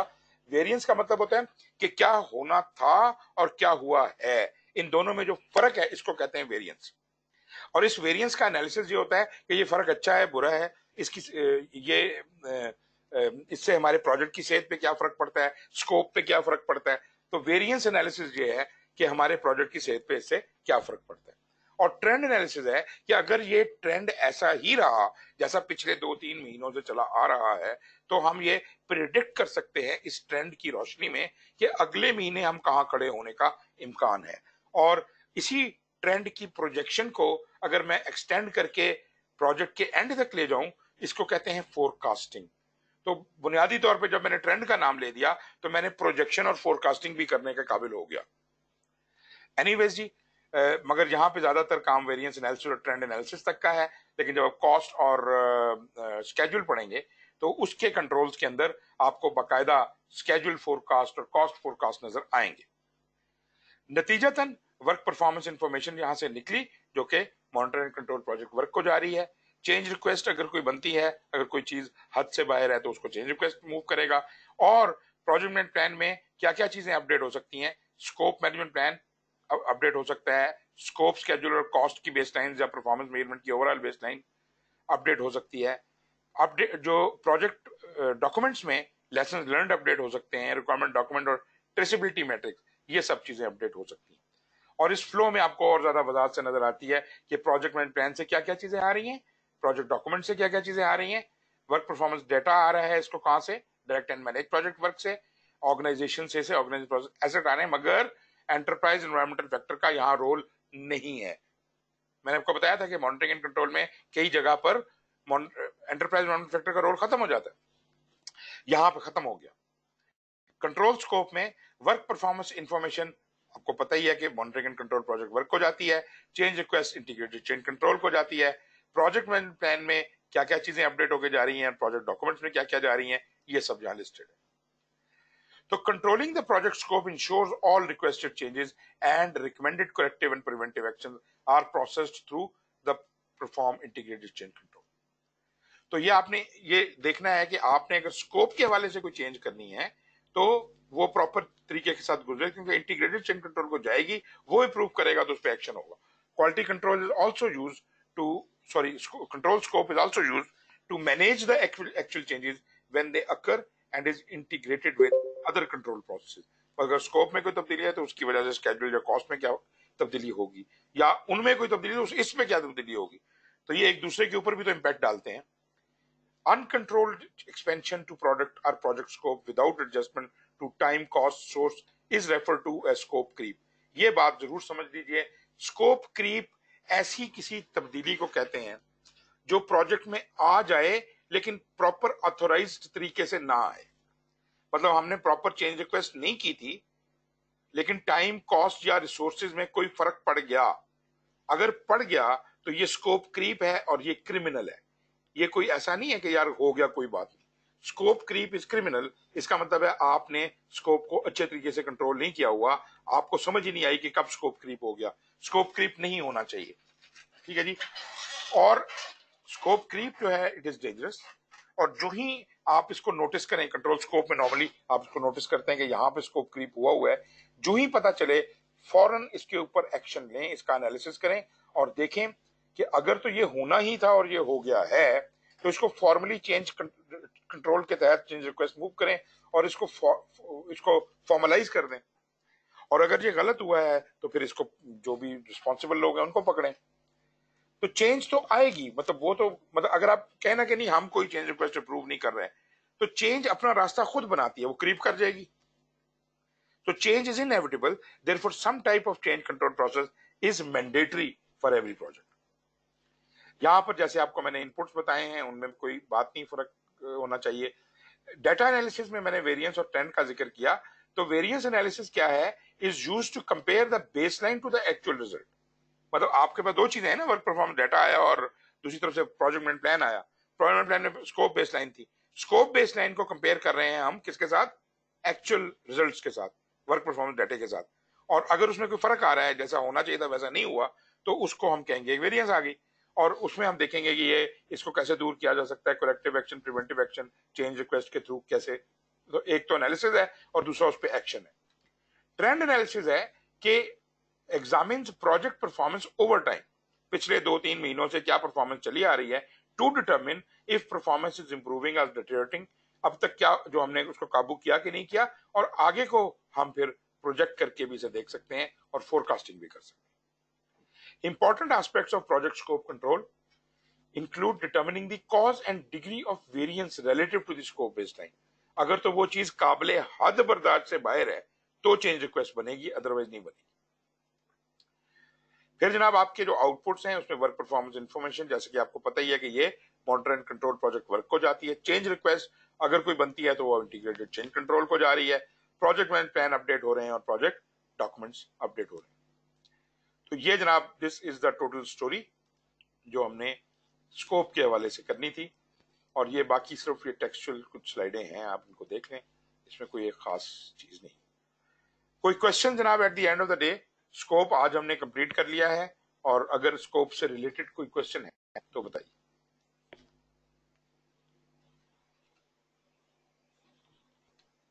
जी जनाब एनीवन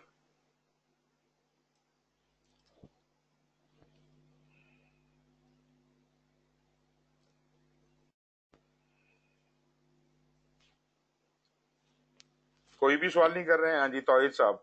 चले एक क्वेश्चन तो आया।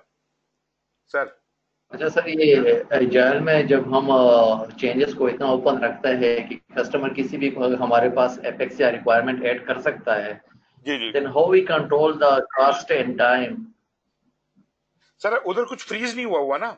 वहाँ बेसलाइन नहीं बनी हुई है। बेसलाइन है ही नहीं ऊपर।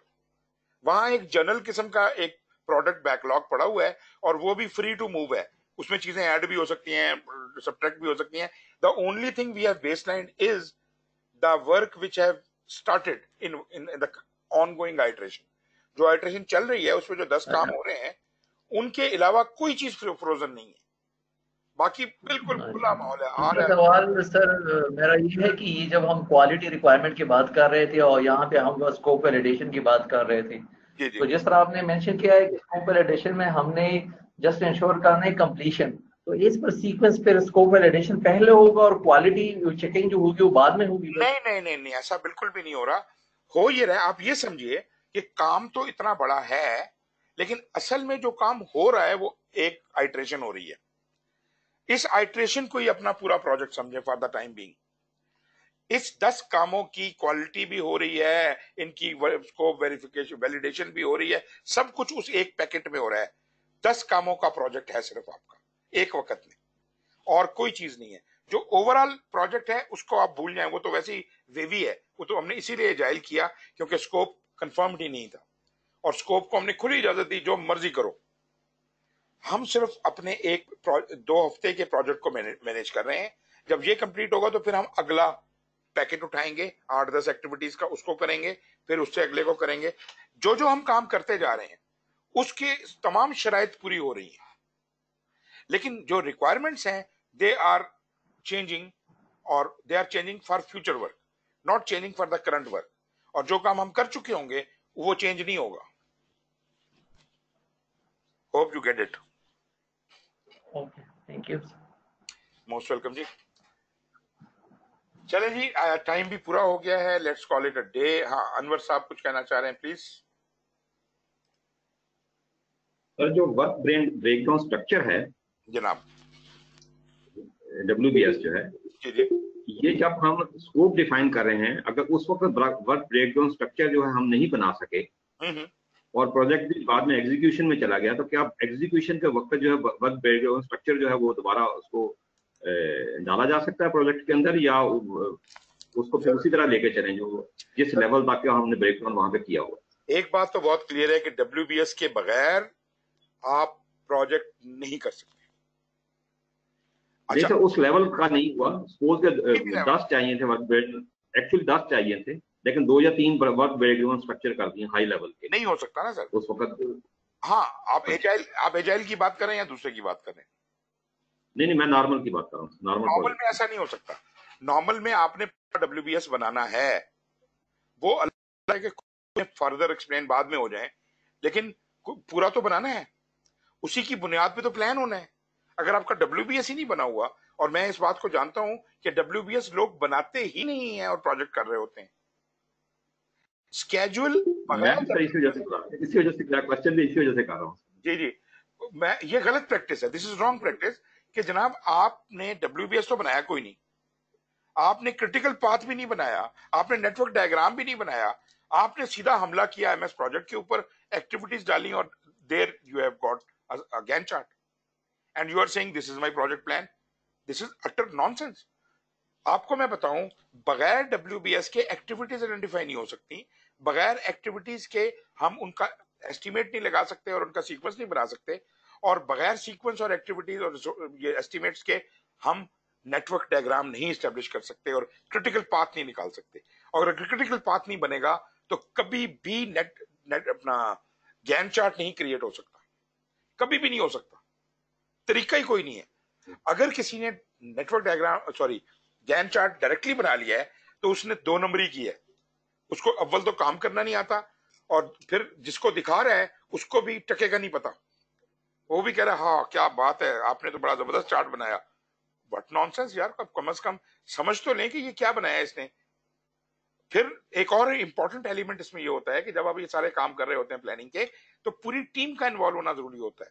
मैंने देखा प्रोजेक्ट मैनेजर साहब उठ के गए बॉस के पास गए, हुक्म लेके आए हैं प्रोजेक्ट का, फिर कमरे में अपने आप को उसने बंद कर लिया, वहाँ बैठ के उसने ये एमएस प्रोजेक्ट पे सारी कार्रवाइयाँ की, ना रिक्वायरमेंट गैदर की, ना एनालिसिस की, ना टीम से कंसल्ट किया, कुछ भी नहीं किया, और आधे घंटे के बाद वो एक गैन चार्ट बना के और अप्रूव करवा के बेसलाइन करा के ले आया। आप क्या समझते हैं ये प्रोजेक्ट मैनेजमेंट हो रही है? This is not project management ये हमने देखा हुआ है ना जी मैं इसलिए कह रहा हूँ ये बिल्कुल गलत अप्रोच है और इसीलिए प्रोजेक्ट फेल होते हैं। और हाई रेट ऑफ़ फेलियर तो वो इसी वजह से होते हैं। चलें जी थैंक यू वेरी मच आज let's call it a day today और कल तो नहीं चार दिन हो गए ना आज हमारे पूरे। अगले हफ़्ते इंशाल्लाह हमारे चार दिन और चलेंगे। और अभी हमने स्केड्यूल भी करना है, अल्लाह करे हम थोड़ा स्पीड तेज कर लें, क्योंकि हमारे बहुत ज़्यादा बहुत ज़्यादा लेक्चर हो गए। We were suppose to have 35 hours and we are completing 75 hours अल्लाह भला करे जी। Thank you very much and take care Hafiz.